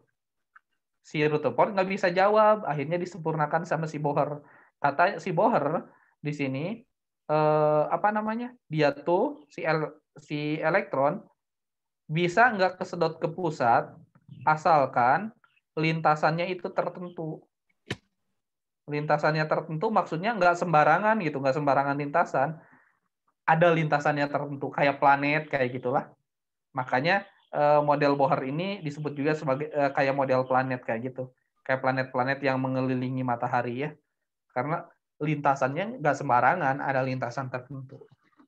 Dan seterusnya setelah Bohr ada lagi ya Schrödinger dan seterusnya sampai model kuantum yang sekarang. Nah, kurang lebih seperti itu review untuk eh, apa namanya teori atom. Oke, satu soal lagi. Yang ini. Titik apa ini yang terdekat? Disebut apa? Suka ada geningan di berita teh. Perihelion. Perihelion atau atau apa helion atau equinox? Apa? Kalau saya jawab B. Jawabnya apa? B. B. Oke. Okay. Kalau uh, Anis pilih apa?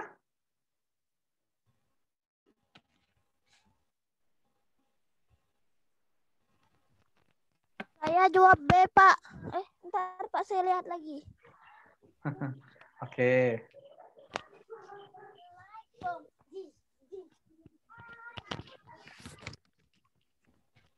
Oh, iya Pak, saya jawab B.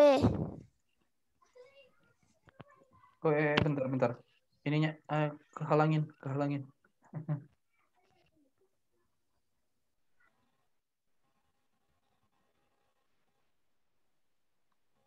Oke, jawabannya adalah ya, yang ini ya, perihelion. Perihelion itu jarak terdekat. Ini jarak terdekat.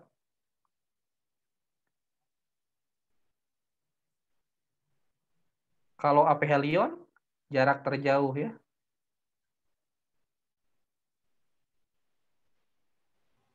Di sini eh, bumi terdekat dengan matahari, terdekat dengan matahari disebut titik perihelion. Sip. Jadi soal yang ketiga ini kita bahas semuanya, kebahas semua. Kita lanjutkan yang kemarin belum kebahas, yang kemarin belum kebahas nih. Part 2 ya, yang kemarin part 2, part 2. Sebentar saya buka part 2-nya. Kita lihat part 2 tuh kemarin baru sampai mana ya?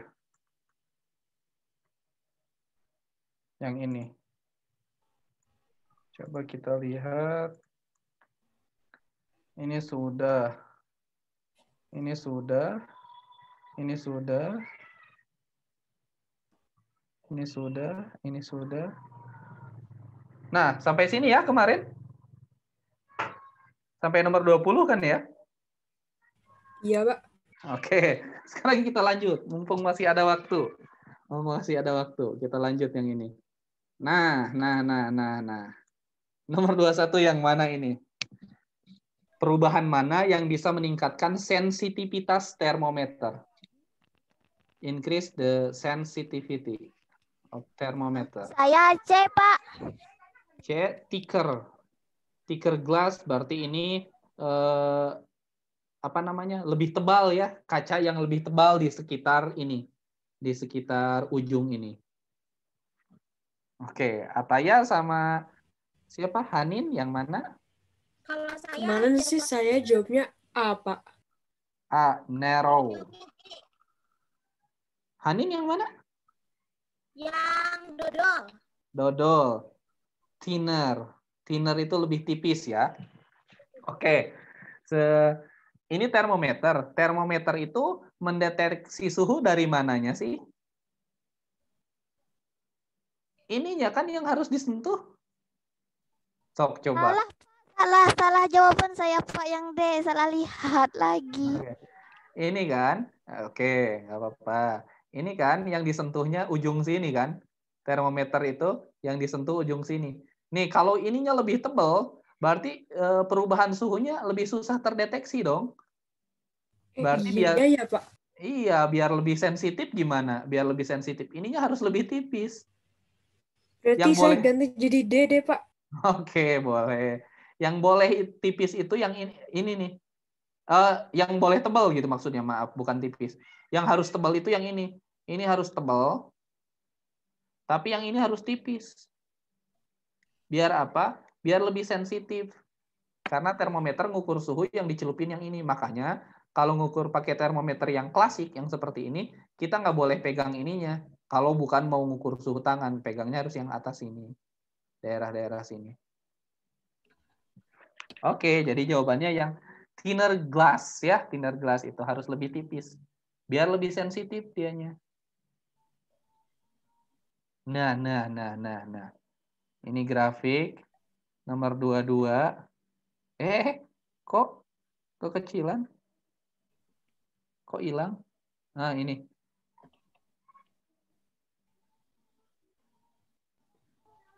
Saya apa?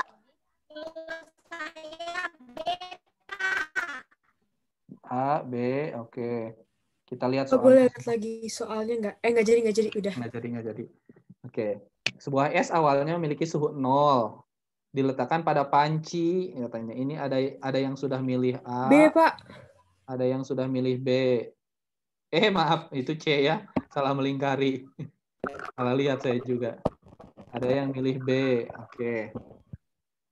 Katanya awalnya suhunya 0. Diletakkan pada se- sebuah panci, kemudian diberi kalor dengan laju penambahan konstan. Manakah grafik yang menemukan di bawah ini menunjukkan perubahan suhu perubahan suhu es setiap saat perubahan suhu es. Awalnya esnya gimana? Kalau dipanaskan, es Suhunya akan mencair sama dulu ya. Hah? Gimana? nggak nggak jadi. Ya, awalnya esnya mencair. Kenapa mencair langsung mencair? Karena suhunya udah 0 derajat. Kecuali suhu esnya minus. Misal minus 5 atau minus berapa gitu. Baru kalau dari minus dikasih kalor, si es wujudnya masih tetap es, tapi suhunya naik dari minus 5 misal ke 0. Nah, dari 0 dia akan mencair. Saat mencair itu suhunya tetap. Karena kalau benda dikasih panas, dikasih kalor, eh, dia kemungkinannya hanya ada dua, berubah suhunya atau berubah wujudnya. Kalau wujudnya berubah, suhunya tetap. Kalau suhunya berubah, wujudnya tetap. Berarti di sini awalnya dia mencair, kemudian naik suhunya, kemudian eh, berubah jadi uap, kemudian naik suhunya. Berarti gambarannya yang mana? Yang ini. Dia mencair, terus naik suhunya, berubah jadi uap, eh berubah jadi uap, betul, terus uap naik suhunya. Jadi jawabannya yang B ya. Kalau yang ini salah. Ini ini apa ini? Nggak ada artinya ini. Yang lain juga nggak ada artinya itu. Oke. Nah ini, yang ini kapasitas kalornya yang mana yang paling besar?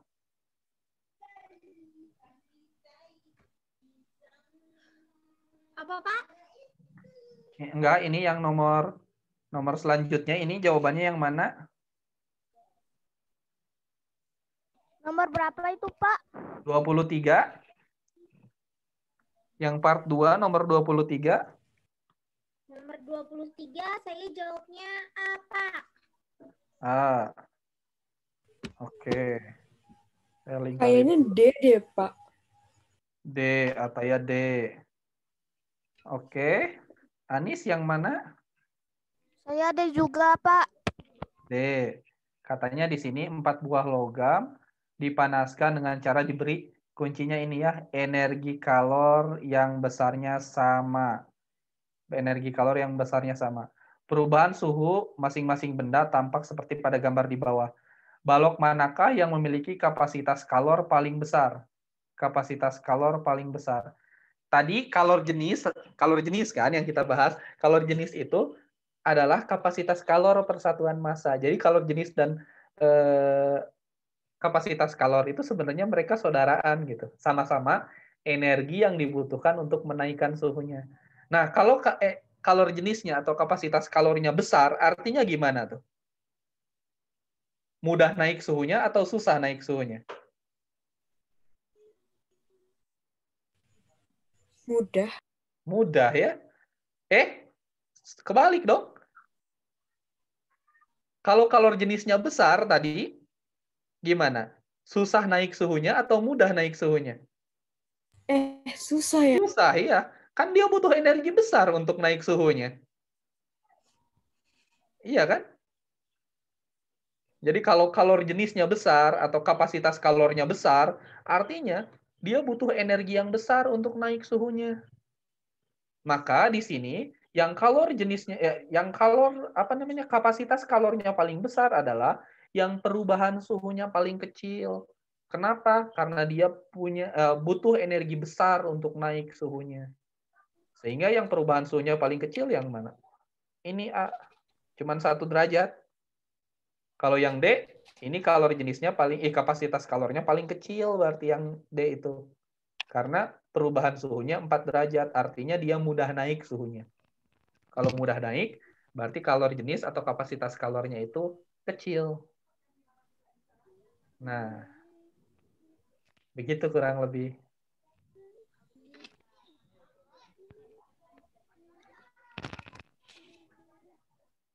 Nah, nah, nah. Kalau yang ini yang mana?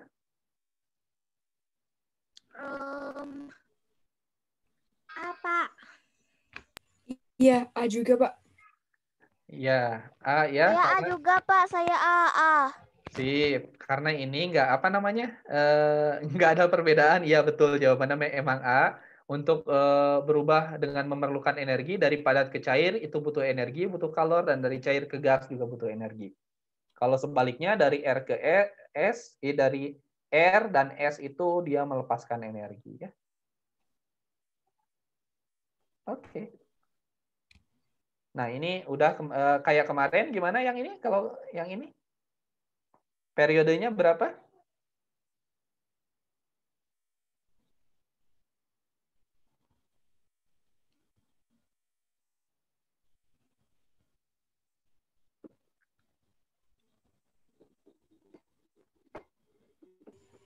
Kayaknya C deh. Nomor berapa, Pak? 25. Saya juga jawabnya C, Pak. Oke. Anis?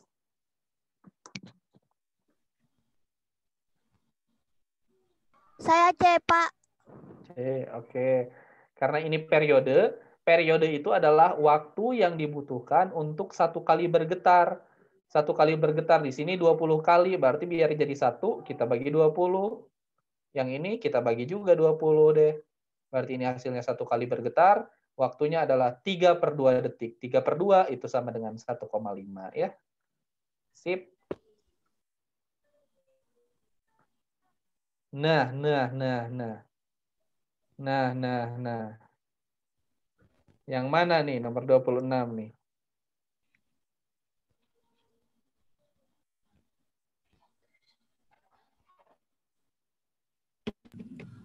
Kayaknya D deh, Pak. Saya jawabnya D, Pak. Saya D juga, Pak. Uh, jarak antara dua puncak, uh, kita lihat ya. Ini frekuensi. Kalau jarak antara dua puncak gelombang apa? Yang A tuh?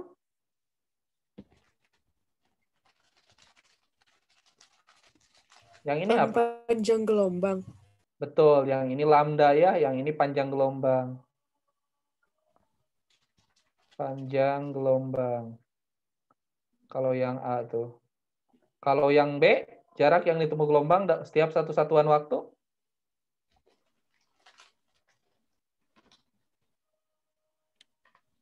Apa yang B? Um, cepat rambat. Ya betul, cepat rambat. Karena ini jarak Tiap satu satuan waktu.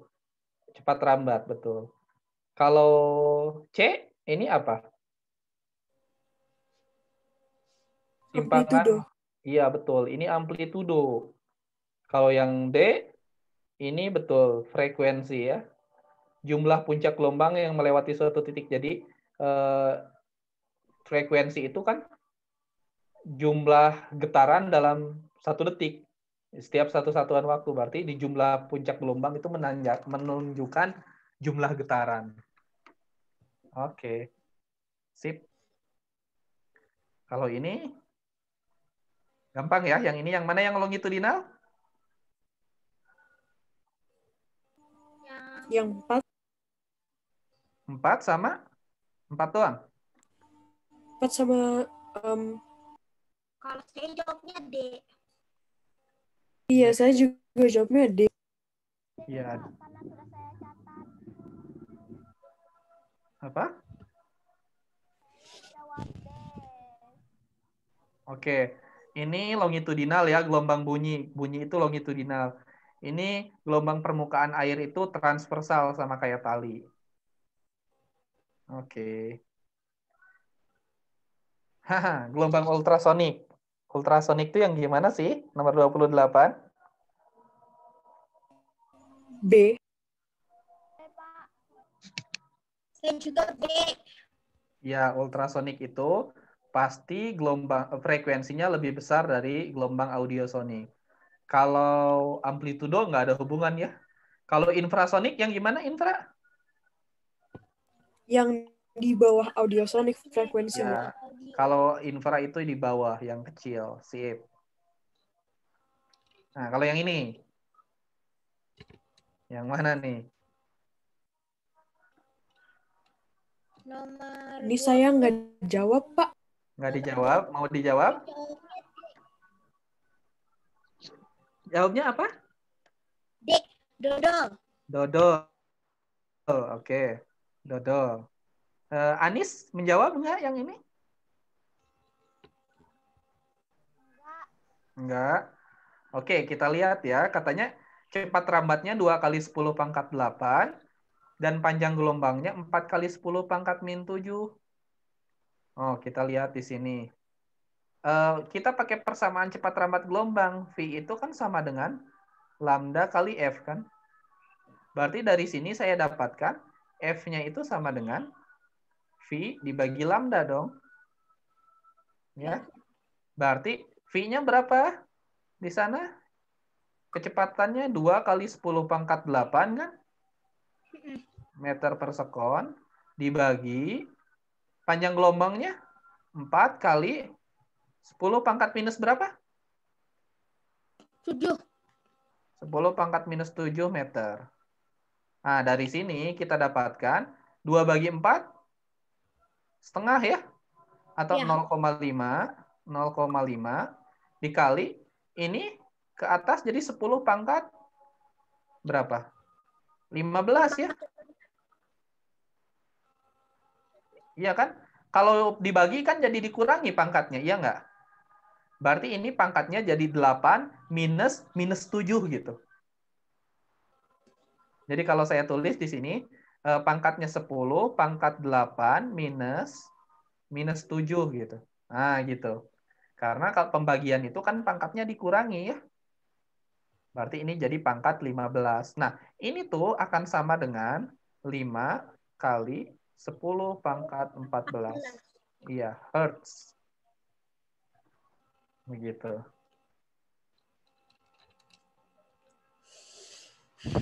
Jadi jawabannya yang mana kalau yang itu? Yang D. Yang D ya. Oke. Sip.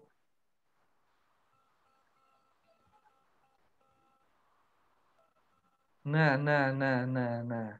Nomor 30 nih. Nomor 30 yang mana nih?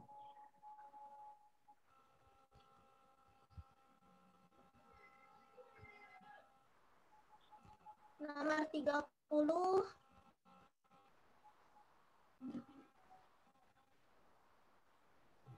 Nomor Saya jawabnya C, Pak. saya C. jawabnya C. C, Pak. C, ya. Anis apa? C. C. Iya, karena ini katanya 4 detik kemudian berarti eh, waktunya cuma dua detik sebetulnya ya, karena 4 detik itu adalah waktu bolak-balik si bunyi. Waktu bolak-balik si bunyi. Sehingga waktu aslinya tuh sebenarnya cuma dua detik. Nah, oleh karena itu jaraknya tinggal V kali T. V-nya 340, T-nya 2. 340 kali 2 hasilnya 680. Iya, betul. Nah, nah, nah. Kalau yang ini, 31 yang D, C, jawabnya dodol. dodol. Oke. Ani sama Ataya yang mana?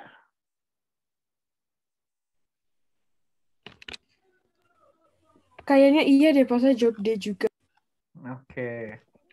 Ya, juga, Pak. Oke, karena ini biar sampai ke bawah, otomatis eh, dipantulkannya harus ke bawah ya. Jadi yang mana? Yang ini, karena ini garis normalnya gini. Sehingga dia mantulnya akan ke sini, ke bawah. Kalau yang ini ke atas, ini eh, garis normalnya ke sini ya. Garis normalnya ke sini. Sehingga dia mantulnya pasti ke atas ini. Kalau yang ini, ke sini, balik lagi eh, lurus gitu. Nggak sampai itu ya. Oke, deh. Sip. Nice. Nah, yang ini yang tadi. Yang tadi sudah saya jelaskan. Ketika cahaya X menuju Y seperti ditunjukkan pada gambar di bawah, maka yang terjadi pada cahaya itu apanya nih? Yang mana ini?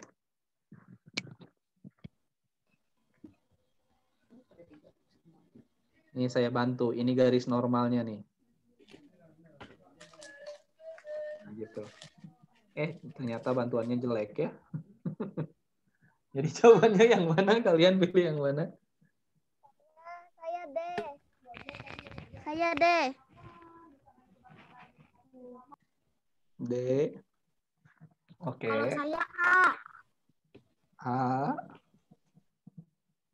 Kalau Ataya? Hmm, A juga kayaknya. A juga. Oke. Kita lihat. Tadi gimana? Cahaya kalau melewati medium yang berbeda, frekuensinya berubah atau enggak?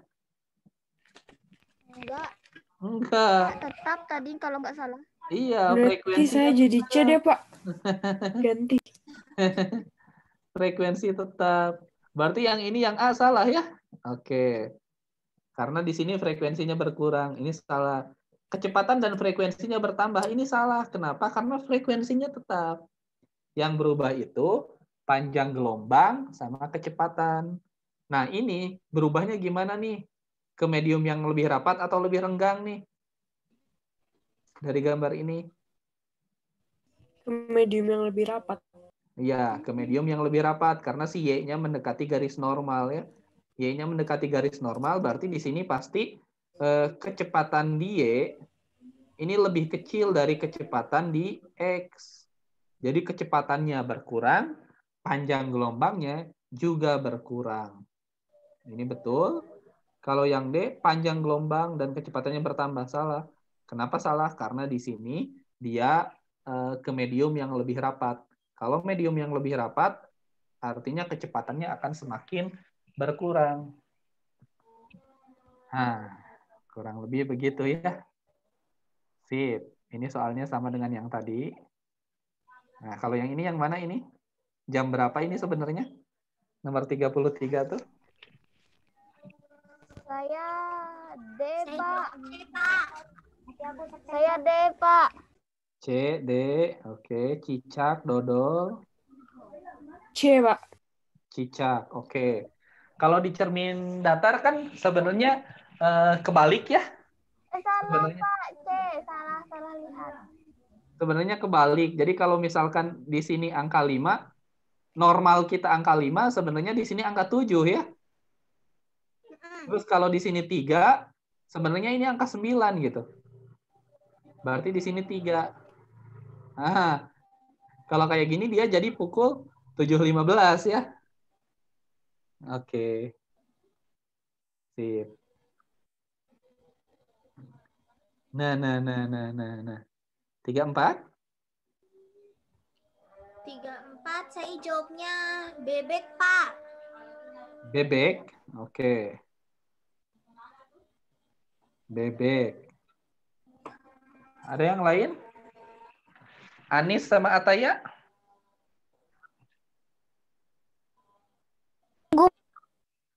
Pak saya lihat di buku saya dulu. Karena saya Oke. jawab saya jawabnya di buku. Iya, boleh. Antara B sama D. Antara B sama D. Oke. Kalau loop itu gimana sih? Sebentar. Kalau ini kaca, lensa maksud saya, lensa positif kan loop tuh. Ini benda di sini. Ini mata kita di sini. Hmm, ternyata gambar saya jelek. Sudah tahu itu mah ya, nggak usah dibilangin. Oke, ini deh. Nah, ini. Nah, lebih baik. Ini di sini loop. Nah, di sini lensa positif. Eh. Lensa positif, terus di sini mata. Mata kita. Di sini benda. Nah, biar kelihatan, biar kelihatan diperbesar, bayangannya harus di mana? Kalau saya tulis di sini satu, di sini dua, harus di daerah satu atau di daerah dua?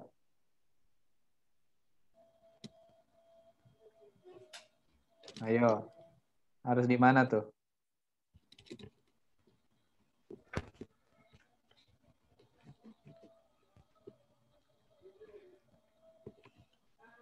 TikTok, TikTok, ngek.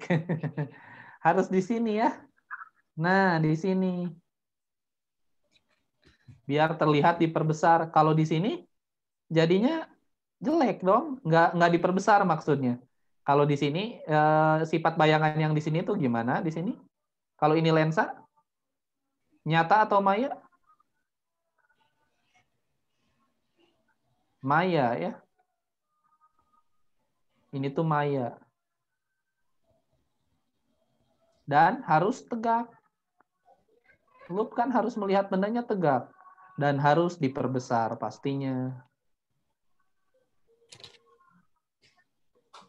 Biar jadi loop, ini sifat-sifatnya. Maya, tegak, dan diperbesar. Yang mana itu?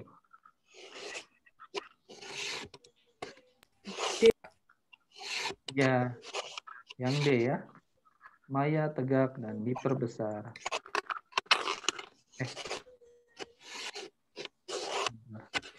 Kok nggak kembali? Oh iya, salah ini. Salah ngeklik saya. Oke, oke, oke. Nah, ini kembali. Oke, kembali. Nah, kita sudah pukul 3, 3 ya. Oke, ini ada dikit lagi tanggung. Kalau yang tiga ini 35 yang mana nih? Atom tuh yang mana sih? Kalau 35 saya jawabnya apa? Eh, atom tuh gimana? A juga, Saya Pak. A juga A Pak. juga, A juga. Iya, betul. Karena atom itu proton elektron di tengah, eh, proton neutron di tengah, elektron yang mengelilingi. Sip. Kalau yang ini mana urutan yang ter- terbesar sampai terkecil? 36? Z, Y, X bukan, Pak. Z, Y, X. Z-nya berapa? Kalau ini hambatannya R semua. 3 R. 3R. Ini 2R 2R. ya. Ini R per 2 ya. Kan paralel. Iya. Ya, berarti Z, Y, X. Betul, Z, Y, X. Itu ya. Oke. 37? 37 saya jawabnya dodol. Dodol. Ada lagi yang lain? Kenapa kali sih? Antara B sama D. Tapi nggak tahu. Ataya pilih yang mana? Nggak tahu, Pak. Antara B sama D. Oh. Eh, Anis punya pilihan?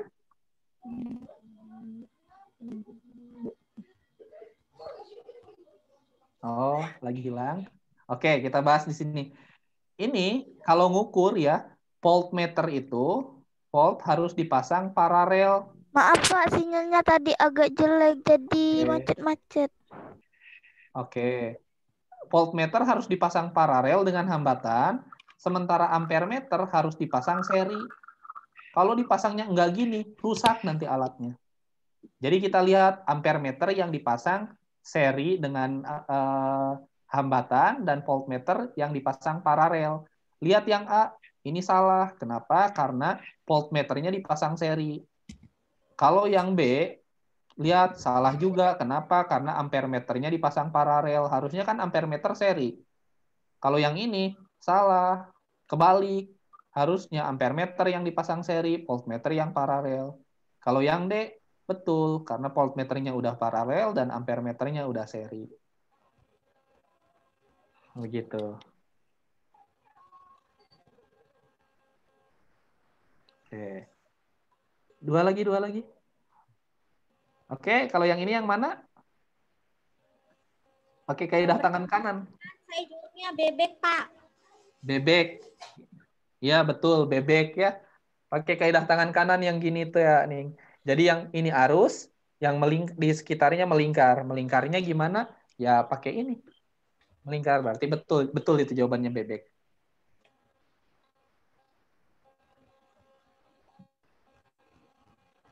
Eh, ini gelombang apa? Nomor 39 yang dipakai untuk teleskop?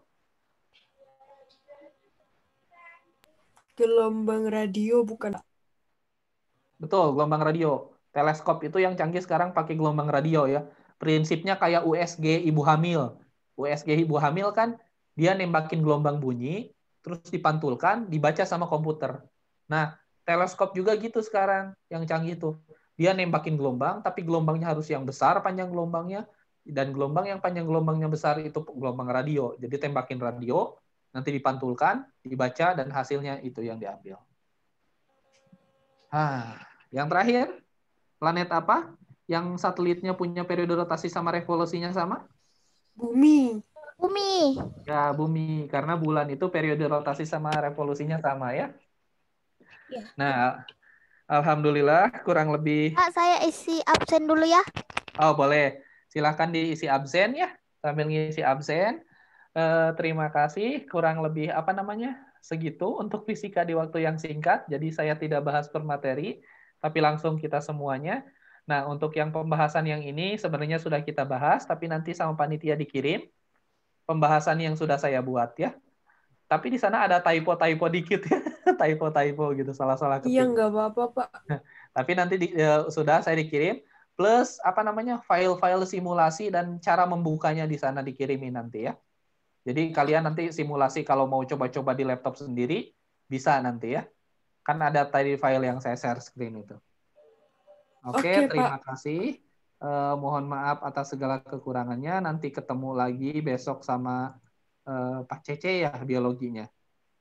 Jadi eh, hari ini sudah beres. Silahkan isi absen. Kalau sudah isi absen boleh left ya. Silahkan. Terima kasih. Assalamualaikum warahmatullahi wabarakatuh. Waalaikumsalam warahmatullahi wabarakatuh. Terima kasih Pak. Ya, Terima sama-sama. kasih Pak Indra. Ya, Adik-adik minta tolong untuk diisi absennya ya. Baru Ataya yang tadi pagi sama siang udah mengisi. Yang sudah mengisi Kasih absen. Pak. Oh iya, lagi. Ya terima kasih Anis. Anin sudah absennya? Sudah. Ah sudah. Terima kasih. Silakan boleh untuk eh, left. Eh, sudah dua kali absennya. Iya. Eh. Terima kasih Anis. oke. Sip. Boleh Terima lab kasih ya Pak kalau Indra. Selamat istirahat Pak Indra. Yoi.